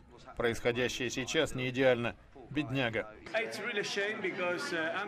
Очень грустно, ведь Абрамович принес Челси успех. Мы выиграли все, что можно. Мы чемпионы мира и чемпионы Европы.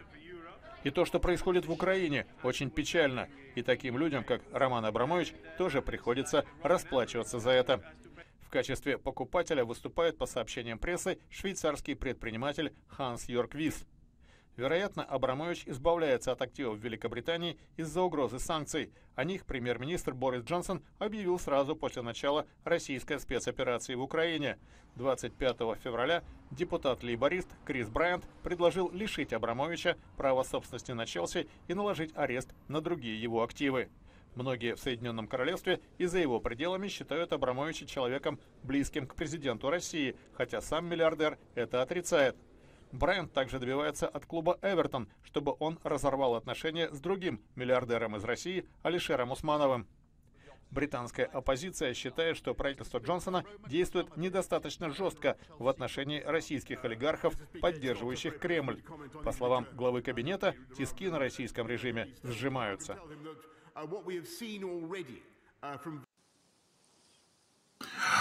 Ну вот, друзья мои, то есть Абрамович э, тоже пытается всяческим образом избежать этих санкций. Мы эту ситуацию видим. И также мы видим, что и Борис Джонсон тоже не особенно-то хочет Абрамовича под санкции подводить. Вот, пожалуйста, люди, которые все равно в таком подвешенном состоянии. И если Германия, плюс еще там как бы Лондон, подключаются к этому, то что же нам дальше вообще в этом случае ожидать? Все-таки существуют исключения из правил, как мы видим. Да.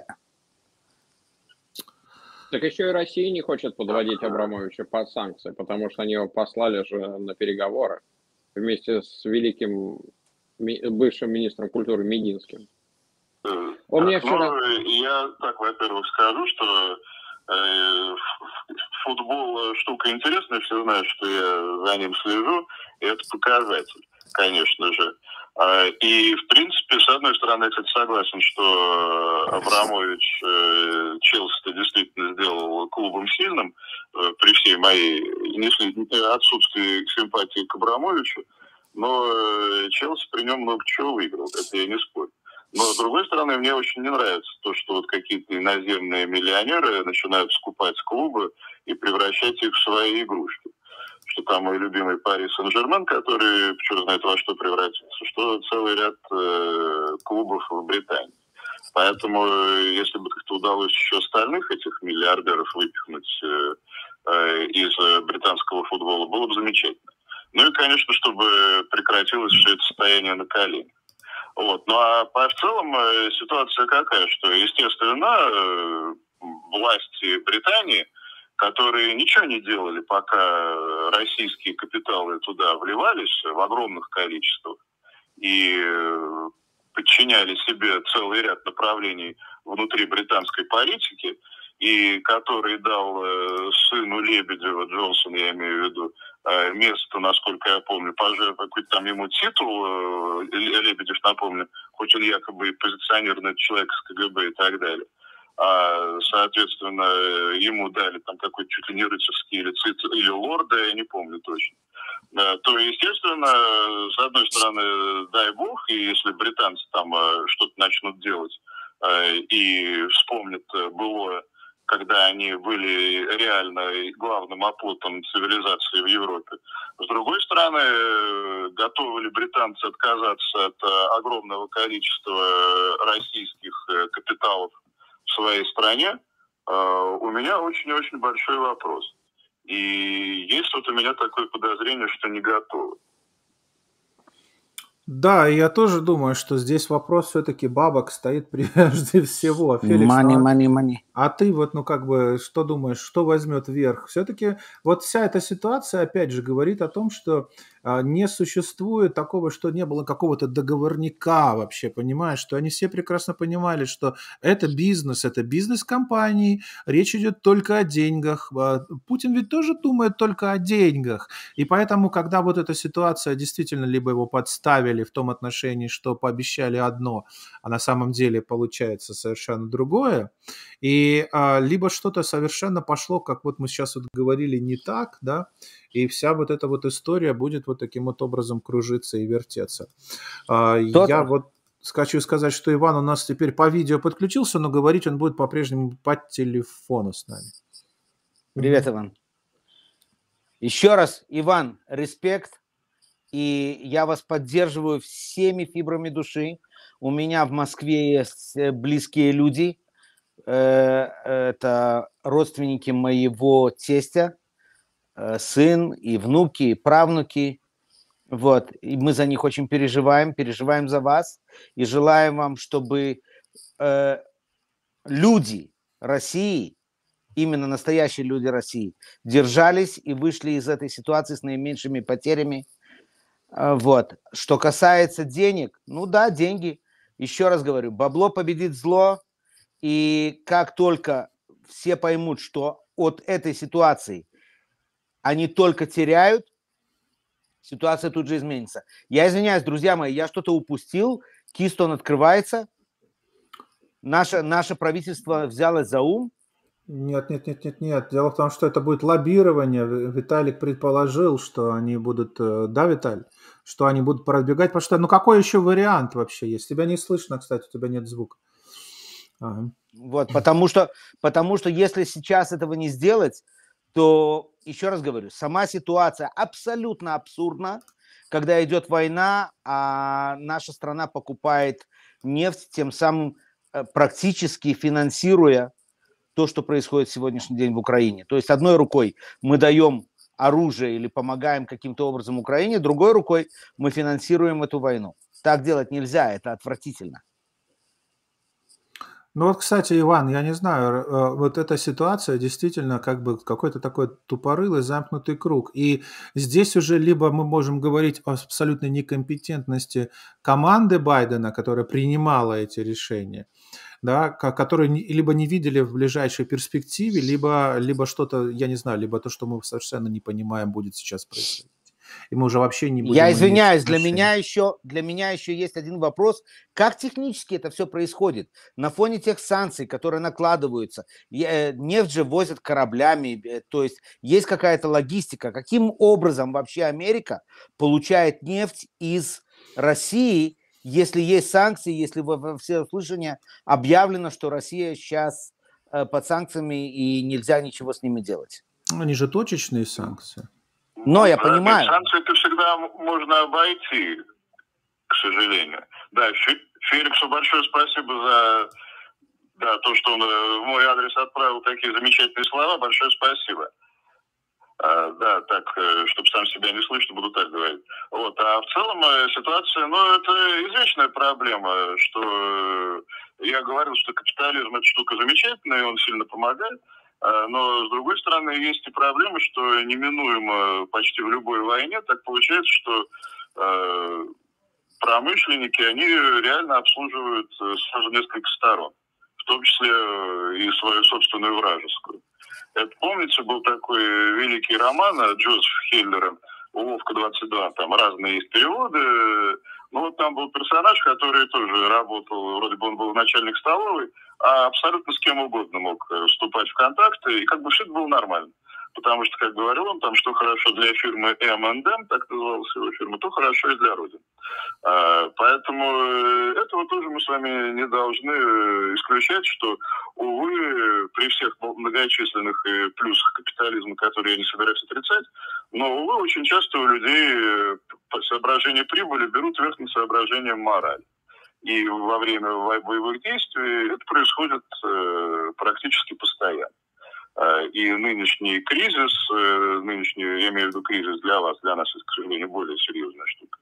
Э, это как раз вот такой показатель, что да, вот так получается, что вроде бы финансирование исходит от Соединенных Штатов. Так же, как, кстати, было и раньше, потому что когда Обама отправлял деньги Ирану, то а мы знаем, что Иран это спонсор террористических организаций, которые убивают в том числе американцев. Получается, что администрация Обамы таким образом финансировала террористические организации антиамериканские. Так это Абсолютно. еще была наличная, наличная масса, это была наличка. Да. И вот смотри, Владимир Агафоненок нам сейчас пишет насчет договорника. Послушал сейчас выступление Шмигаля. В Украине создаются фонды на восстановление. А мы знаем, как Байден и его сынок любят эти фонды. Так что, возможно, и был сговор. Вот сейчас начинают люди к этому приходить. Решили. Иван, Иван, я хочу просто ну, сказать... Посмотрим, что будет потом. Пока это все-таки не очень похоже на Э, учитывая количество жертв э, и происходящее, я пока я, я не буду соглашаться с идеей, что там э, Путина заставили. Он давно это хотел. Нет, а, нет, Иван. Сейчас у него Иван, логика. Появилась такая возможность. И логика событий. А, здесь я, вот, я, я сказал, что я много идей не могу всего предугадать, все-таки я не предсказатель.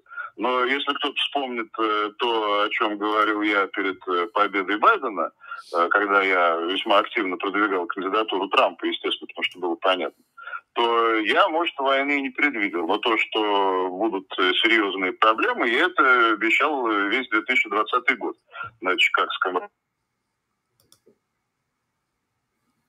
Алло. Да-да-да-да-да, сейчас что-то со связью. Что-то опять мы тебя не слышим. Сейчас я тебе перезвоню. А, но смотрите, ситуация такая, что эм, ситуация такая, что. Ник, Ник, Ник, два слова я скажу. Давай. Два слова. Потому что логика событий вообще говорит о том, что единственное, единственное, почему Байден не возвращает нашу страну в из э, страны, которая потребляет, э, в страну, которая производит и продает э, свои энергоносители, это что только из-за того, что я знаю, что Иван сейчас, я, я слышал его э, высказывание именно о том, что сейчас перетягивать одеяло на Байдена, на Америку, когда в Украине такое происходит, не очень правильно, но я считаю, что Байдена держит очень серьезно, держит за яйца, и поэтому именно вот происходит то, что происходит. Что если он на сегодняшний день объявит мораторий на покупку нефти в России, он очень сильно боится, я имею в виду даже не он сам, я не думаю, что он вообще понимает, что происходит, а его окружение очень его сильно команда. боится, да, что будет вывалено все, что только есть на Байдена и будет огромный скандал, и это приведет к падению его президентства, импичмент и так далее, и так далее, потому что уже скрывать будет невозможно. Поэтому Америка продолжает делать то, что она делает. Меня сейчас слышно? Да, да, да, Иван, конечно. Да, отлично. Да, тогда короткое добавление я сделаю, в общем-то, к тому, что Феликс сказал. А, видите ли, какая штука? Сейчас я буду говорить как конспиролог, но тем не менее. А, известно, Наконец-то, ура! Ура! Практически э, на любого американского политика, который ездил в Советский Союз, какой-то компромат есть, честно признается. А, Байден, мы помним, туда ездил. Э, говорил, что э, отношения между Советским Союзом и Америкой будут замечательными. Там когда, в 79-м, что ли, году. И поэтому я охотно допускаю ту идею, что э, на Байдена в архивах э, ГБ э, даже без его этих шалостей и его, и его сына и так далее, Свежих. очень и очень много в любом случае. Еще с 70-х годов. There you go. Это все, что и требовалось доказать. Это я постоянно пытаюсь эту мысль проводить и постоянно пытаюсь говорить об этом. Но еще раз говорю, Иван, Россия как страна и русские люди, такие как ты, это абсолютно две разные вещи. И я призываю, ко мне обращались, кстати, мои близкие, э, мой брат родной просил меня озвучить в передаче. Это при том, что они поддерживают Украину, потому что жена его из Киева. Вот, но тем не менее, они просили меня озвучить э, поддержку русским людям, которые против того, что происходит сегодня в Украине, которые против режима, который сегодня в России, и которые стараются донести эту мысль любым способом. Потому что то, что происходит сегодня в э, киберпространстве, в интернете, то, что мы видим, я не могу поверить, что столько, э, что фабрика троллей настолько продуктивна. Я все-таки склоняюсь к мысли, что ватников слишком много, очень много. Ну и, и что фабрика они... тоже продуктивна. Не, о не, да, не... о да. Мы сейчас они только, подливают масло атаки. в огонь. Они только подливают масло в огонь, но основная масса, когда ты слышишь, э, когда э, российский мальчишка военный, который говорит маме, что он попал в плен, а она говорит, ну ты же сражался за родину. Ну, у меня, у меня вышибает пробки, ребята, я не могу это слышать. Для меня это кошмар, я, я понимаю, что эти люди зомбированы. Вот то, что нам показывали в кошмарных американских э, фильмах про зомби, это вот оно. У меня тут есть теория такая, что э, лучшие фильмы о зомби снимались в Европе, потому что Европа э, лучше связана, знает тоталитарные режимы, и поэтому э, она лучше их делала. Но, с другой стороны, моей, моей теории мешает то, что в Советском Союзе и в России почему-то зомби-фильмов не было. Но сейчас мы живем в зомби-фильме, это я тоже уже говорил. Апокалипсис. Для да. отдельно взятой страны. Ну, для не то, что для отдельно взятой, а вообще, в принципе, чтобы это не развернулось, ту ситуацию, когда мы уже э, через какое-то время будем говорить вообще, в принципе, о той ситуации, что это во всей Европе происходит и, и везде вообще во всем мире. Между тем, э, нам сообщают, что э, Байден против того, чтобы Европа передавала самолеты в Украину, Игорь Бугаев пишет. А, и а, как бы основываясь на этой информации, как бы понятно, что Байден не хочет эскалировать и э, помогать ситуации украинцам, по сути дела, потому что а, либо он боится, что если войска НАТО начнут принимать участие в защите Украины, то это каким-то образом расценится Путиным как вмешательство войск НАТО, а он сказал четко на своем обращении, что в НАТО ни в коем случае никогда не будут в этот конфликт вмешиваться, как будто бы вот четко четкий такой момент, а, не допуская вообще того, что а если дальше пойдет развитие, а если Путин пойдет дальше в Европу, будут ли войска НАТО принимать участие в этом или нет? Вопрос. А что, уже сейчас непонятно, что это будет? А, вопрос. А о чем тогда вообще они говорят? Если ситуация вышла из-под контроля, почему тогда прекратились переговоры? Почему тогда они э, дальше не ведут переговоры, я имею в виду э, Байден с Путиным? Они уже обо всем договорились? Или переговоры будет вести Макрон? И как вообще вся эта ситуация, вот, ну, как бы, как, вот как вот это все можно объяснить, Иван? Потому что я вот, например, вот здесь вот как бы понимаю, что у них есть понимание картины все же на данный момент – причем очень ясное. И они уже четко понимают, что будет. А вот мы можем гадать и, и думать, а, а может быть это будет, а кто его знает, а посмотрите на его. И здесь очень важно смотреть на реакцию людей, на их глаза, на их ощущения, на то, каким образом они это говорят, кто в каком состоянии находится. Поэтому-то надо это все сейчас смотреть и анализировать. Я не верю в то, что есть какая-то система по той простой причине, что люди не умеют системы, я говорил не раз. Э, Все рано или поздно разваливается. Поэтому и то, что происходит сейчас, э, если за этим и был какой-то, опять же, была какая-то схема, то она ведь сыпется, и мы это все видим с вами. Э, что-то всегда пойдет не так, это известно так оно работает. Поэтому и здесь э, э, я не думаю, что если что-то прикидывалось, то сейчас уже э, все перекраивается на ходу. Тут э, я уж не обессудь в этом не сомневаюсь. Что касается переговоров, э, ну, с одной стороны, да, я целиком и полностью за них, э, ну, потому что э, прекращать это безобразие надо. Но, с другой стороны, я вот уже сказал, э, что если это все закончится опять к тому, что э, начнется давление со стороны Запада на Украину, ну, получается, что это переговоры, какой тогда у них смысл-то? И, кстати, редкий случай, когда я с э, Семеном не согласен, то, что сейчас может произойти, может пока, э, если до этого дойдет, то железный занавес покажется вообще занавеской тюлевой потому что при железном занавесе, ну, пока, я не, собираюсь ни в коем боже, боже упаси что-то хорошее говорить о советском режиме. Э, нет. Но, по крайней мере, было какое-то количество там э, э, фильмов э, иностранных в. Сейчас они пропали у нас, э, их практически нет и, видимо, какое-то время не будет. Э, сейчас перекрываются уже э, все попытки что-то там себе выписать из э, магазинов иностранных. Э, поэтому у меня там, у меня, как обычно, некоторое количество книг застряло. Я уж не знаю, увижу я их или нет. Но сейчас э, интернет-магазины, с которыми, которых я покупаю все, со вчерашнего дня, э, со вторника американские прекратили поставлять, с вчерашнего дня Европы. Э, и пока, да, у нас тут через какие-то, через VPN можно вот э, обходить и смотреть что-то. Хотя, знаешь, что самое смешное? У меня на работе я на Фейсбуком спокойно пользуюсь. И Твиттером.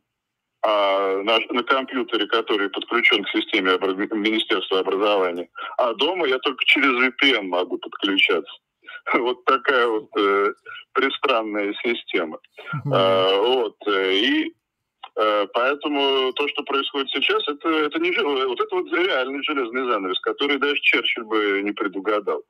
Э, опустится он или не опустится, вот это очень большой вопрос. Э, но если это будет протекать так и дальше, и опять же вот завтра мы посмотрим, что будет происходить, даже если не примут все вот эти вот дикие какие-то меры, то, по крайней мере, мы увидим, что они собираются принимать, потому что это будет показательный день, конечно же. А, ну, здесь, да, все вот может получиться весьма и весьма удручающе. А вот смотри, Владимир Агафенок спрашивает еще, а интересно, что про какую ратификацию говорил Мединский после переговоров? Что ты думаешь? А я даже не знаю, я пока результат переговоров, я сейчас э, общаюсь с вами, я результат переговоров даже не знаю, к чему они привели пока, поэтому я просто не могу никак не комментировать. Иван, у меня к тебе ну, есть вопрос. Когда говорит Мединский, то... Это вообще страшно. Э, как бы, когда сказать, как помягче, да, то музы даже не то, что молчат, а плачут, потому что э, когда он открывает рот, то, то, то помните, в Южном парке была серия, когда там э, казалось, что как главному герою, что у всех персонажей изо рта дерьмо. А вот э, когда я смотрю на этих, на наших пропагандистов, ну, на некоторых западных, и как бы я ни с кого не собираюсь э, снимать ответственность, то вот у меня такое ощущение, что вот изо рта лезет э, дерьмо всякое. А ну, смотри, вот Лавров заявил, да, мы готовы разговаривать, но продолжать нашу операцию мы будем, потому что мы не можем позволить себе сохранить на Украине инфраструктуру, которая угрожает безопасности Российской Федерации. Вот же И демилитаризация в этом смысле, угрожающей нам инфраструктуры вооружений, она будет доведена до конца. Если мы подпишем мирную договоренность, она обязательно должна будет такой пункт включать, это цитата.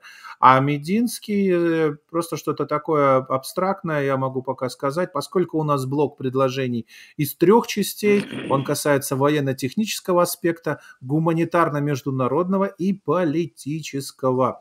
В целом на западе Беларуси начался второй раунд переговоров между делегациями Украины и России.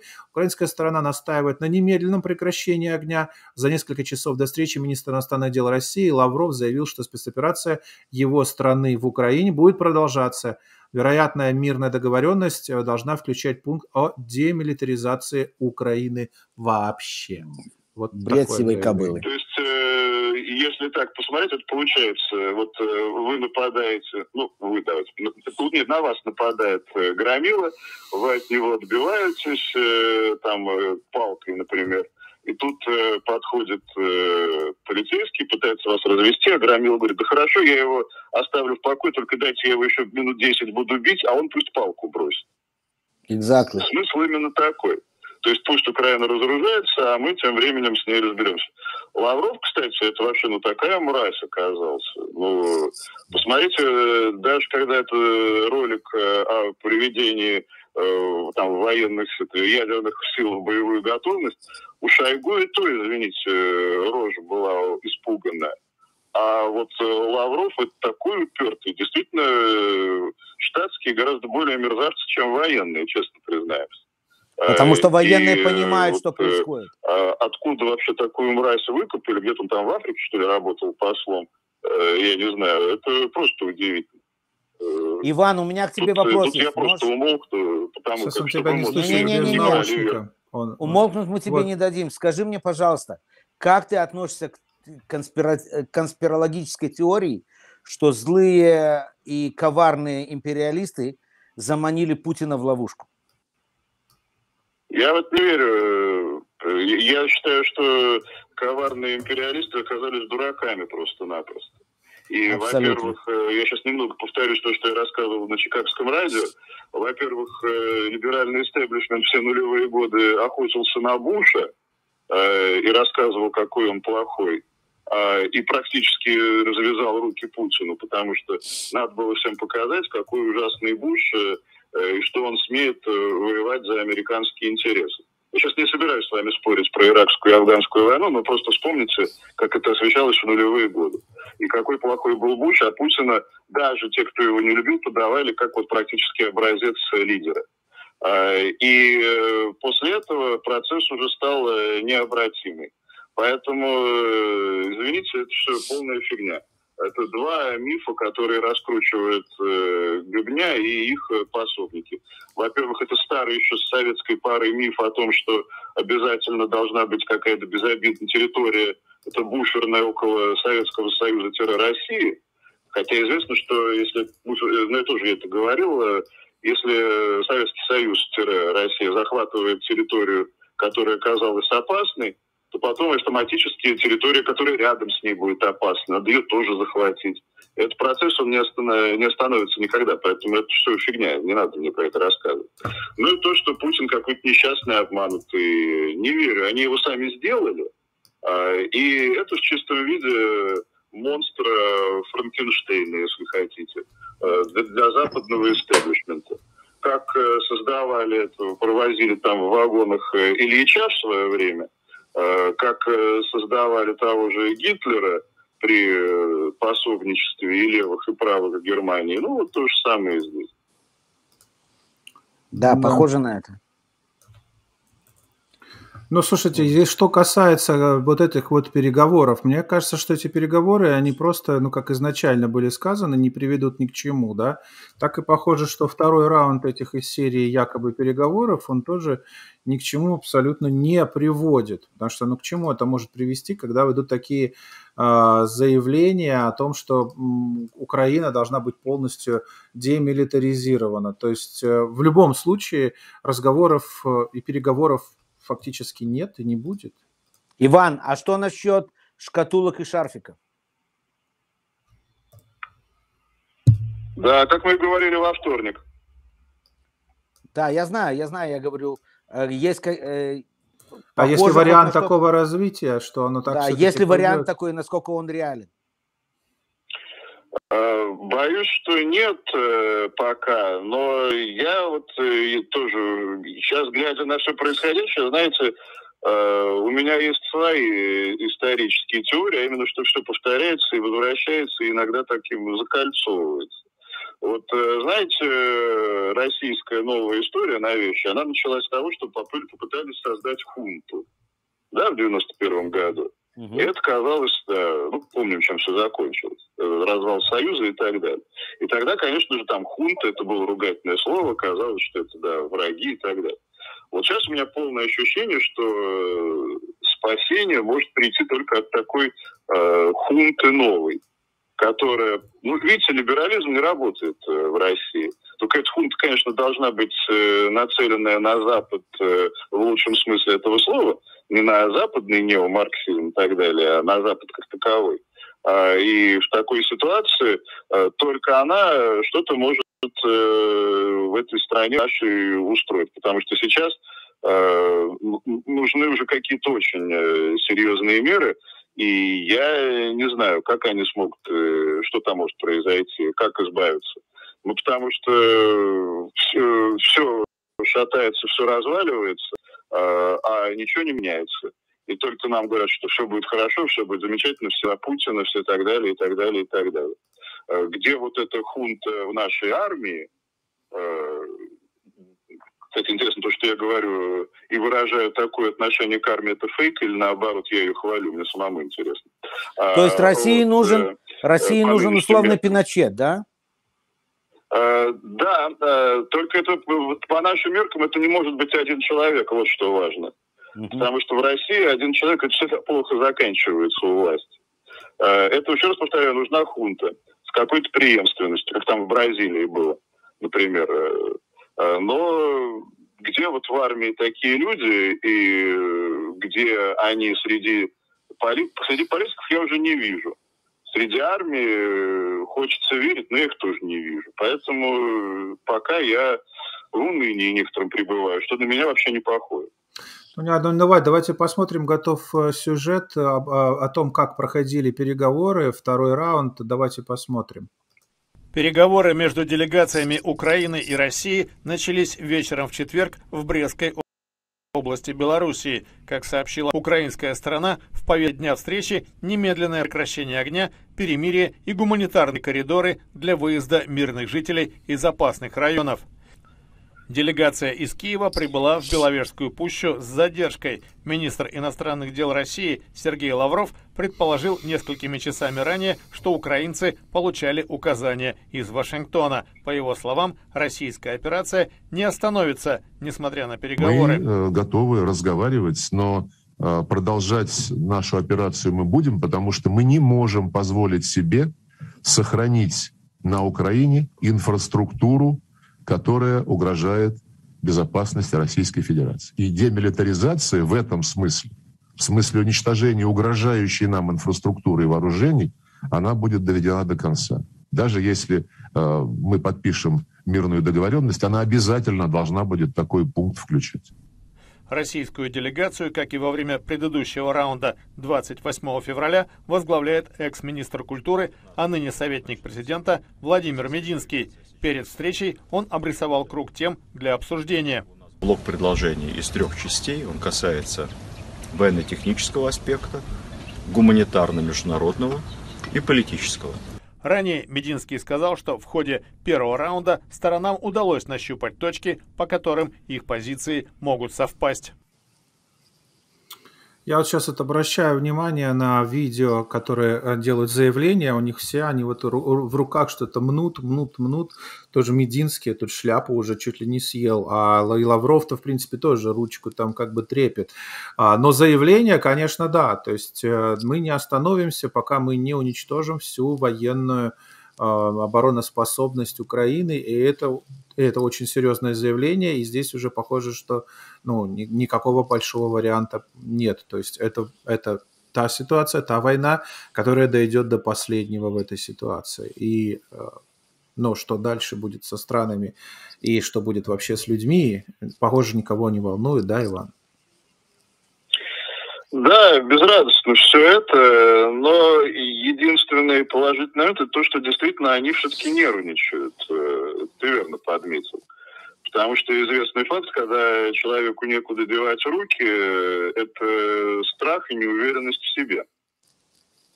А, и то, что вот э, такое поведение с их стороны, это, конечно же, ну, хоть какой-то оптимизм, но все-таки внушает.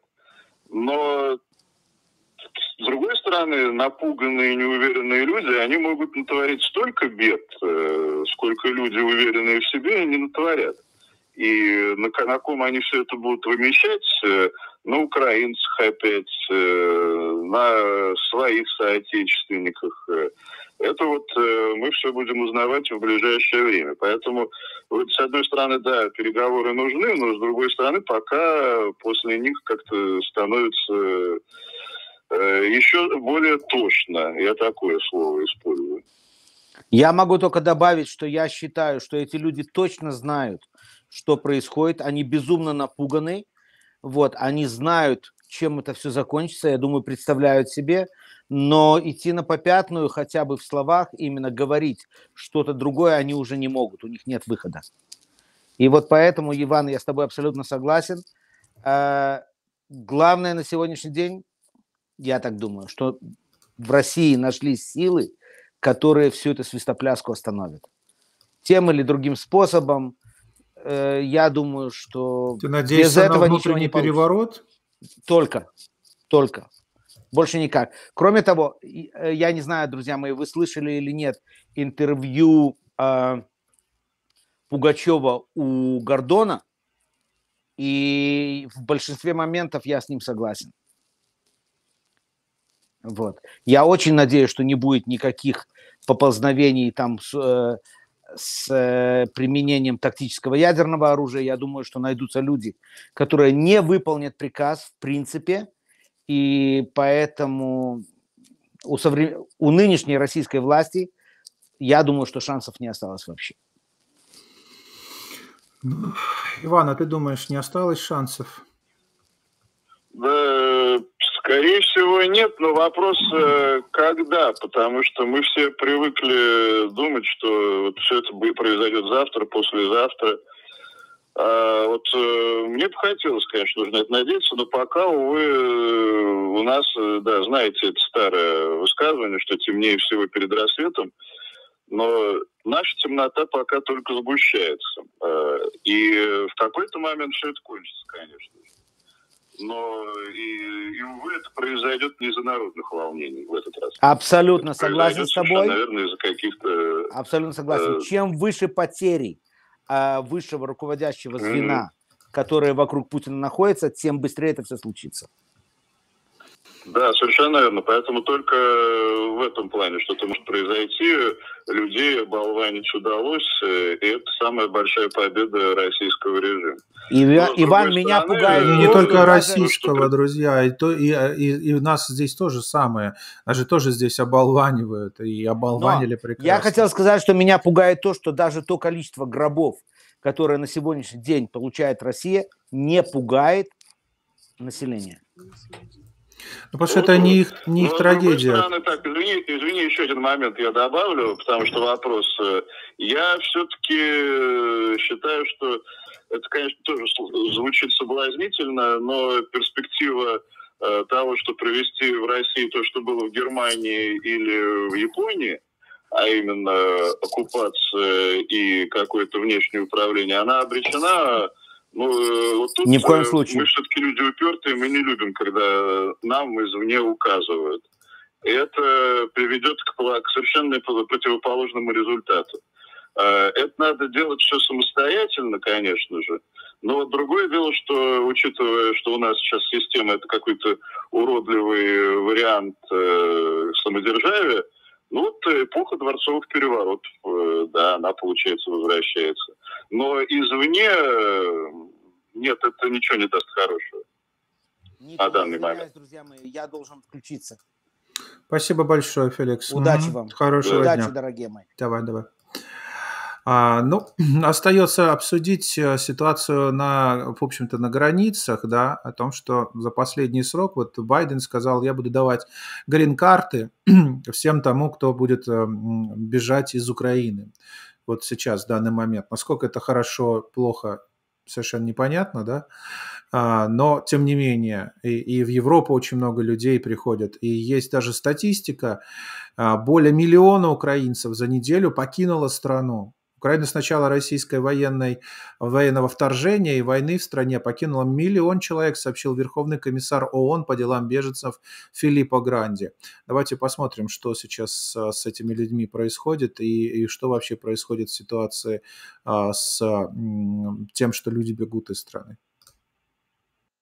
В четверг украинцы седьмой день подряд устремлялись в Центральную Европу, спасаясь от военной операции России в своей стране. За минувшую неделю поток мигрантов достиг небывалых масштабов, сообщил Верховный комиссар ООН по делам беженцев Филиппо Гранди.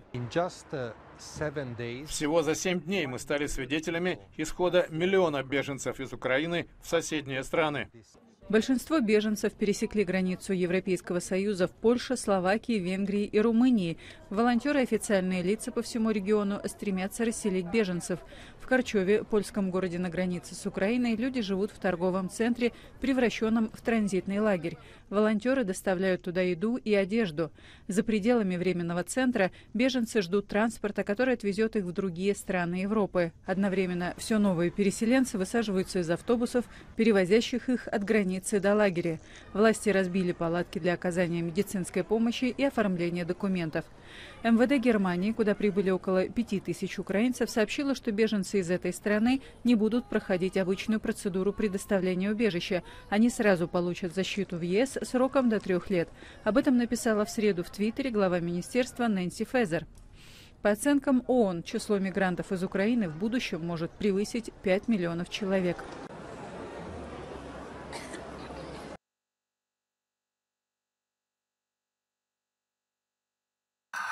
А, да, вот так вот, Иван, в общем-то, как бы мы видим, да, люди бегут, и э, потому что не понимают, что будет дальше, хотят сохранить свои жизни, и вообще, в принципе, ситуация как бы очень-очень непонятна для людей, особенно которые находятся там. Ну, скажем так, не все готовы воевать, не все готовы умирать, не все готовы как бы в этой ситуации там при, находиться в принципе, особенно если это дети, женщины.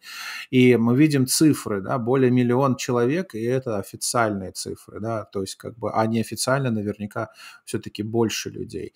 А, но вот что по этой ситуации ты можешь сказать? Будет ли увеличиваться количество беженцев, либо это вот то, что вот те люди, которые решились, уехали, дальше этого не будет происходить, люди останутся там. И главным образом, как Украина, а, как, как вообще будет Евросоюз на это реагировать дальше? Примут ли Украину в Евросоюз, тем самым дав возможность этим беженцам как бы нормально себя чувствовать и э, ну как бы это сложный прогноз я понимаю мы не знаем что будет например даже завтра вообще как как как будет ситуация э, mm-hmm.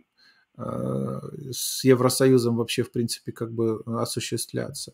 Но, тем не менее, все равно твой как бы прогноз на тот случай, если все хорошо э, и все закончится, то будет ли э, Украина принята хотя бы в Евросоюз и под это получить свои гарантии, плюс ко всему вот те люди, которые беженцы, они тоже могут как бы нормально себя чувствовать. И люди не будут бежать из ну, Украины. Я думаю, да, я, я думаю, что поток беженцев он будет только расти, ну, потому что, а как иначе если дома разрушают э, и убивают, естественно, надо бежать. И куда бежать? Только в Европу. А, и я вижу, что уже, ну, прежде всего, в скандинавских странах, э, э, ну, за которыми я наблюдаю, партии, которые, в общем, довольно активно выступают против иммиграции, ну, из стран соответствующих, восточных и африканских, они считают, что украинцев принимать, э, конечно, надо, потому что, ну, тоже Европа, э, и, естественно, надо оказывать помощь. Э, я, в принципе, считаю, что, наверное, да, это скорее положительный момент – да, может попасть неизвестно кто, это никогда этого не, не происходит, э, однозначного финала. Но, с другой стороны, я напомню вам, э, кубинцы в большинстве своем в Штатах, э, которые тоже бежали от э, советского, от коммунистического режима, это с сих пор э, один из самых адекватных э, и достойных э, элементов американского общества и люди, которые посмотрели на то, что делает путинский режим, но мне хочется верить, что они в Европу вольются не как э, тунеядцы, а как люди, которые будут стараться Европе действительно помочь, чтобы Европа была сильной и уважавшей себя и готовой противостоять э, всем э, угрозам. Поэтому, наверное, здесь э, я, э, в общем-то, это, это одобрю даже при всей моей э, скепсисе к любой иммиграции в нынешней ситуации. Поэтому пускай э, действительно и принимают. Э, тут, я думаю, это как раз нормально. А, что касается каких-то тут был хороший момент, а что будет с самой Украиной, что туда заселят а, афганцев, сирийцев, и китайцев туда будут заселять, если так будет продолжаться все идет к тому, опять же, повторяю, что э, Российская Федерация э, превратится вот э, в китайский придаток Китая, так или иначе. И будет уже типа как кол- колония, да? Да. И будет уже не в состоянии ему не противостоять, и даже желания такого не будет. И территории, освободившиеся, Китай себя подоймет очень и очень быстро. Э, вот, поэтому ну, вот пока как-то все э, у нас э, безрадостно, короче говоря. И э, есть, конечно же, надежда, что если начнется хоть какое-то движение э, в Европе и в Америке в сторону да, объединения, и теперь, кстати, заметьте, уже мало, ну там идиоты вроде Кэрри говорят, но уже мало кто рассказывает. А, еще, конечно, был этот совершенно гениальный, дебильный твит главы британской разведки о том, что надо, сейчас главное это ЛГБТ-право, а, но в целом а, на первый план уже выходят старые добрые понятия, что э, единство западной цивилизации, э, единство боевое против э, тоталитарной угрозы. Хочется верить, что на, этом, на этой волне достойные правые политики, они придут к власти. И, как я говорил, если будут правые политики, то даже без войны Э, с режимами вроде путинского можно управиться, потому что э, достойная внутренняя политика, она сковывает э, любых врагов. Но когда это произойдет, мы не знаем, поэтому пока вот все, что нам с вами остается, это пытаться рассказывать то, что мы считаем правдой. Я считаю, это, это, это и есть правда. Э, до людей, э, объяснять, что и как, э, и хоть какое-то подобие здравого смысла мы с вами должны сохранять. Пока у меня такая возможность есть, хоть таким образом, но я буду это продолжать. И, и очень надеюсь, что завтра все будет как обычно ночью. Да, мы тоже очень надеемся а, и на, на то, что, по крайней мере, так будет, может быть, и, и нормально будет. Будем следить, потому что мы не знаем, на самом деле, как будут развиваться события. Поэтому вам говорим, друзья мои, держим связь, знакомимся, передаем какие-то контакты друг друга. Это очень важно. Вот почему это важно. Сейчас мы видим это, доказываем с тобой, мы разговариваем просто по обычной сотовой связи. И для того, чтобы мы могли быть услышанными, всех слышали, потому что другой возможности нет нет. И мы, в общем, используем то, что можно использовать. Еще раз, нас блокируют на основном канале. А, подключайтесь на запасные каналы, оставайтесь на связи для того, чтобы смотреть нас и быть на связи все время и получать информацию о том, что происходит. А, завтра у нас программа ток-шоу в прямом эфире, как обычно, и потом в формате соло, надеемся, все будет нормально с Иваном Денисовым. А, и, конечно же, мы все переживаем и думаем о том, чтобы не началась, по крайней мере, ядерная война. Вот это то, что нас больше всех переживаем. Борис Борисов пишет, если бы у Гитлера было ядерное оружие, то уверен, он бы его применил, и война бы закончилась сразу. И мы все должны вспомнить краткие курсы э, наших э, школьных лет, когда нам говорили о том, что если ядерный взрыв хотя бы где-то будет на планете, то аукнется во всей планете. И поэтому как бы здесь действительно сложно не согласиться а, с тем же Путиным, который сказал, что победителей в этой войне не будет.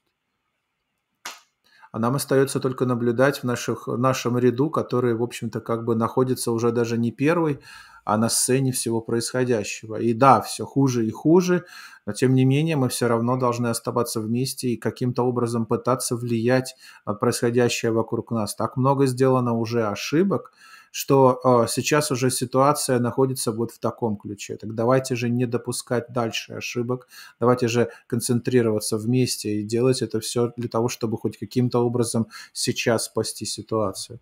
Спасибо, Тукетс Video Production. С нами сегодня был Иван Денисов. Спасибо тебе огромное, что ты вышел и не боишься выходить на связь с нами и говорить правду и говорить ну, свои Знаешь, мысли. извини, перебью. Я опять, я не собираюсь тут ничем бравировать, и мне, в общем, тоже довольно поганое настроение. Но знаешь, этот старый анекдот, что советская власть э, запретила пить, курить, э, там, гулять по ночам и так далее. Там, товарищ Сидоров, вы готовы отдать свою жизнь за советскую власть?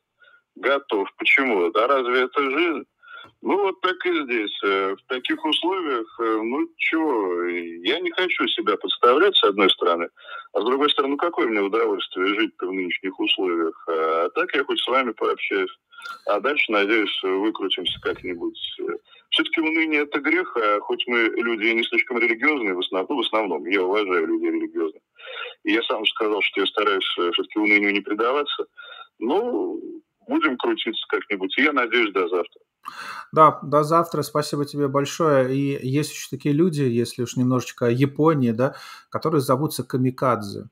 Да вот я думаю, что мы как раз таки из этой категории людей, которые, в общем-то, как бы понимают, что они делают, и а, шаг за шагом идут к заветной цели. Иван, береги себя. Нет, давай мы с тобой пишет. лучше будем как старые, такие старые только, э, якудзы, потому что якудзы, это, напомню, нашего японского друга сегодня с вами нет, но тем не менее. Это изначально были одиночки-неудачники, и, собственно, якудза – это сочетание 8-9-3, это проигрышная комбинация в костях. Она означала неудачников. Но эти неудачники объединялись и защищали э, людей, например, первые. Потом они стали бандитами, но первые. Вот мы вроде тоже неудачники, да, ну кто там, э, мы там, да, не, ну уж не обессудьте. Ну, а, ну мы не, ну не какой-то там, да, суперканал, условно говоря. А, мы все тут можем в любой момент нас закрыть могут, те, кто в России, там вообще не буду говорить, что. Но якудза бились за то, что они считали, считали хорошим. Ну и мы будем. Только якудза деградировали, а мы не станем. Ну да, мы будем от них отличаться, мы создадим все-таки что-то свое. Да. Спасибо большое. Иван Денисов, э, Феликс Боровик, э, Виталий Чайка и Сашка ЭПФ были сегодня с нами. Игорь также подключался на связь а, в начале программы. Спасибо, спасибо, друзья, что вы с нами. Не забывайте помогать нам. Добро победит зло. Молюсь об этом, чтобы было скорее, Борис Борисов. А, и мы тоже, и мы тоже, и мы тоже, и мы тоже, друзья мои. Помогайте каналу, особенно в период блокировки. PayPal, Зеле. А, есть еще а, возможность через суперчат или становитесь нашими подписчиками на основе, на, на постоянной основе. Пока у нас есть такая возможность, мы будем это делать. И мы, да, уже дошли до блокировок, до телефонов, вот что мы разговариваем прямо по телефону, но мы продолжаем делать это дело, и мы будем идти до победного. А потом перейдем до того момента, что мы будем встречаться вместе, и уже хотя бы это будет самый главный момент, когда мы сможем группами что-то решать. Давайте не допустим, чтобы мы дошли до этого. У нас и так уже много всего, о чем мы и понятия не имели, что мы будем говорить сегодня, еще какое-то время назад. Дай бог, чтобы в будущем мы не говорили о чем-то еще худшем и не упоминали о том, что то, что, о чем мы говорили сегодня, это было вообще ерунда и, и совершенно как бы мы бы не обратили на это внимание. Берегите себя, друзья, самое главное. И доверяйте только достоверным источникам. Всем всего доброго. До новых встреч. Пока.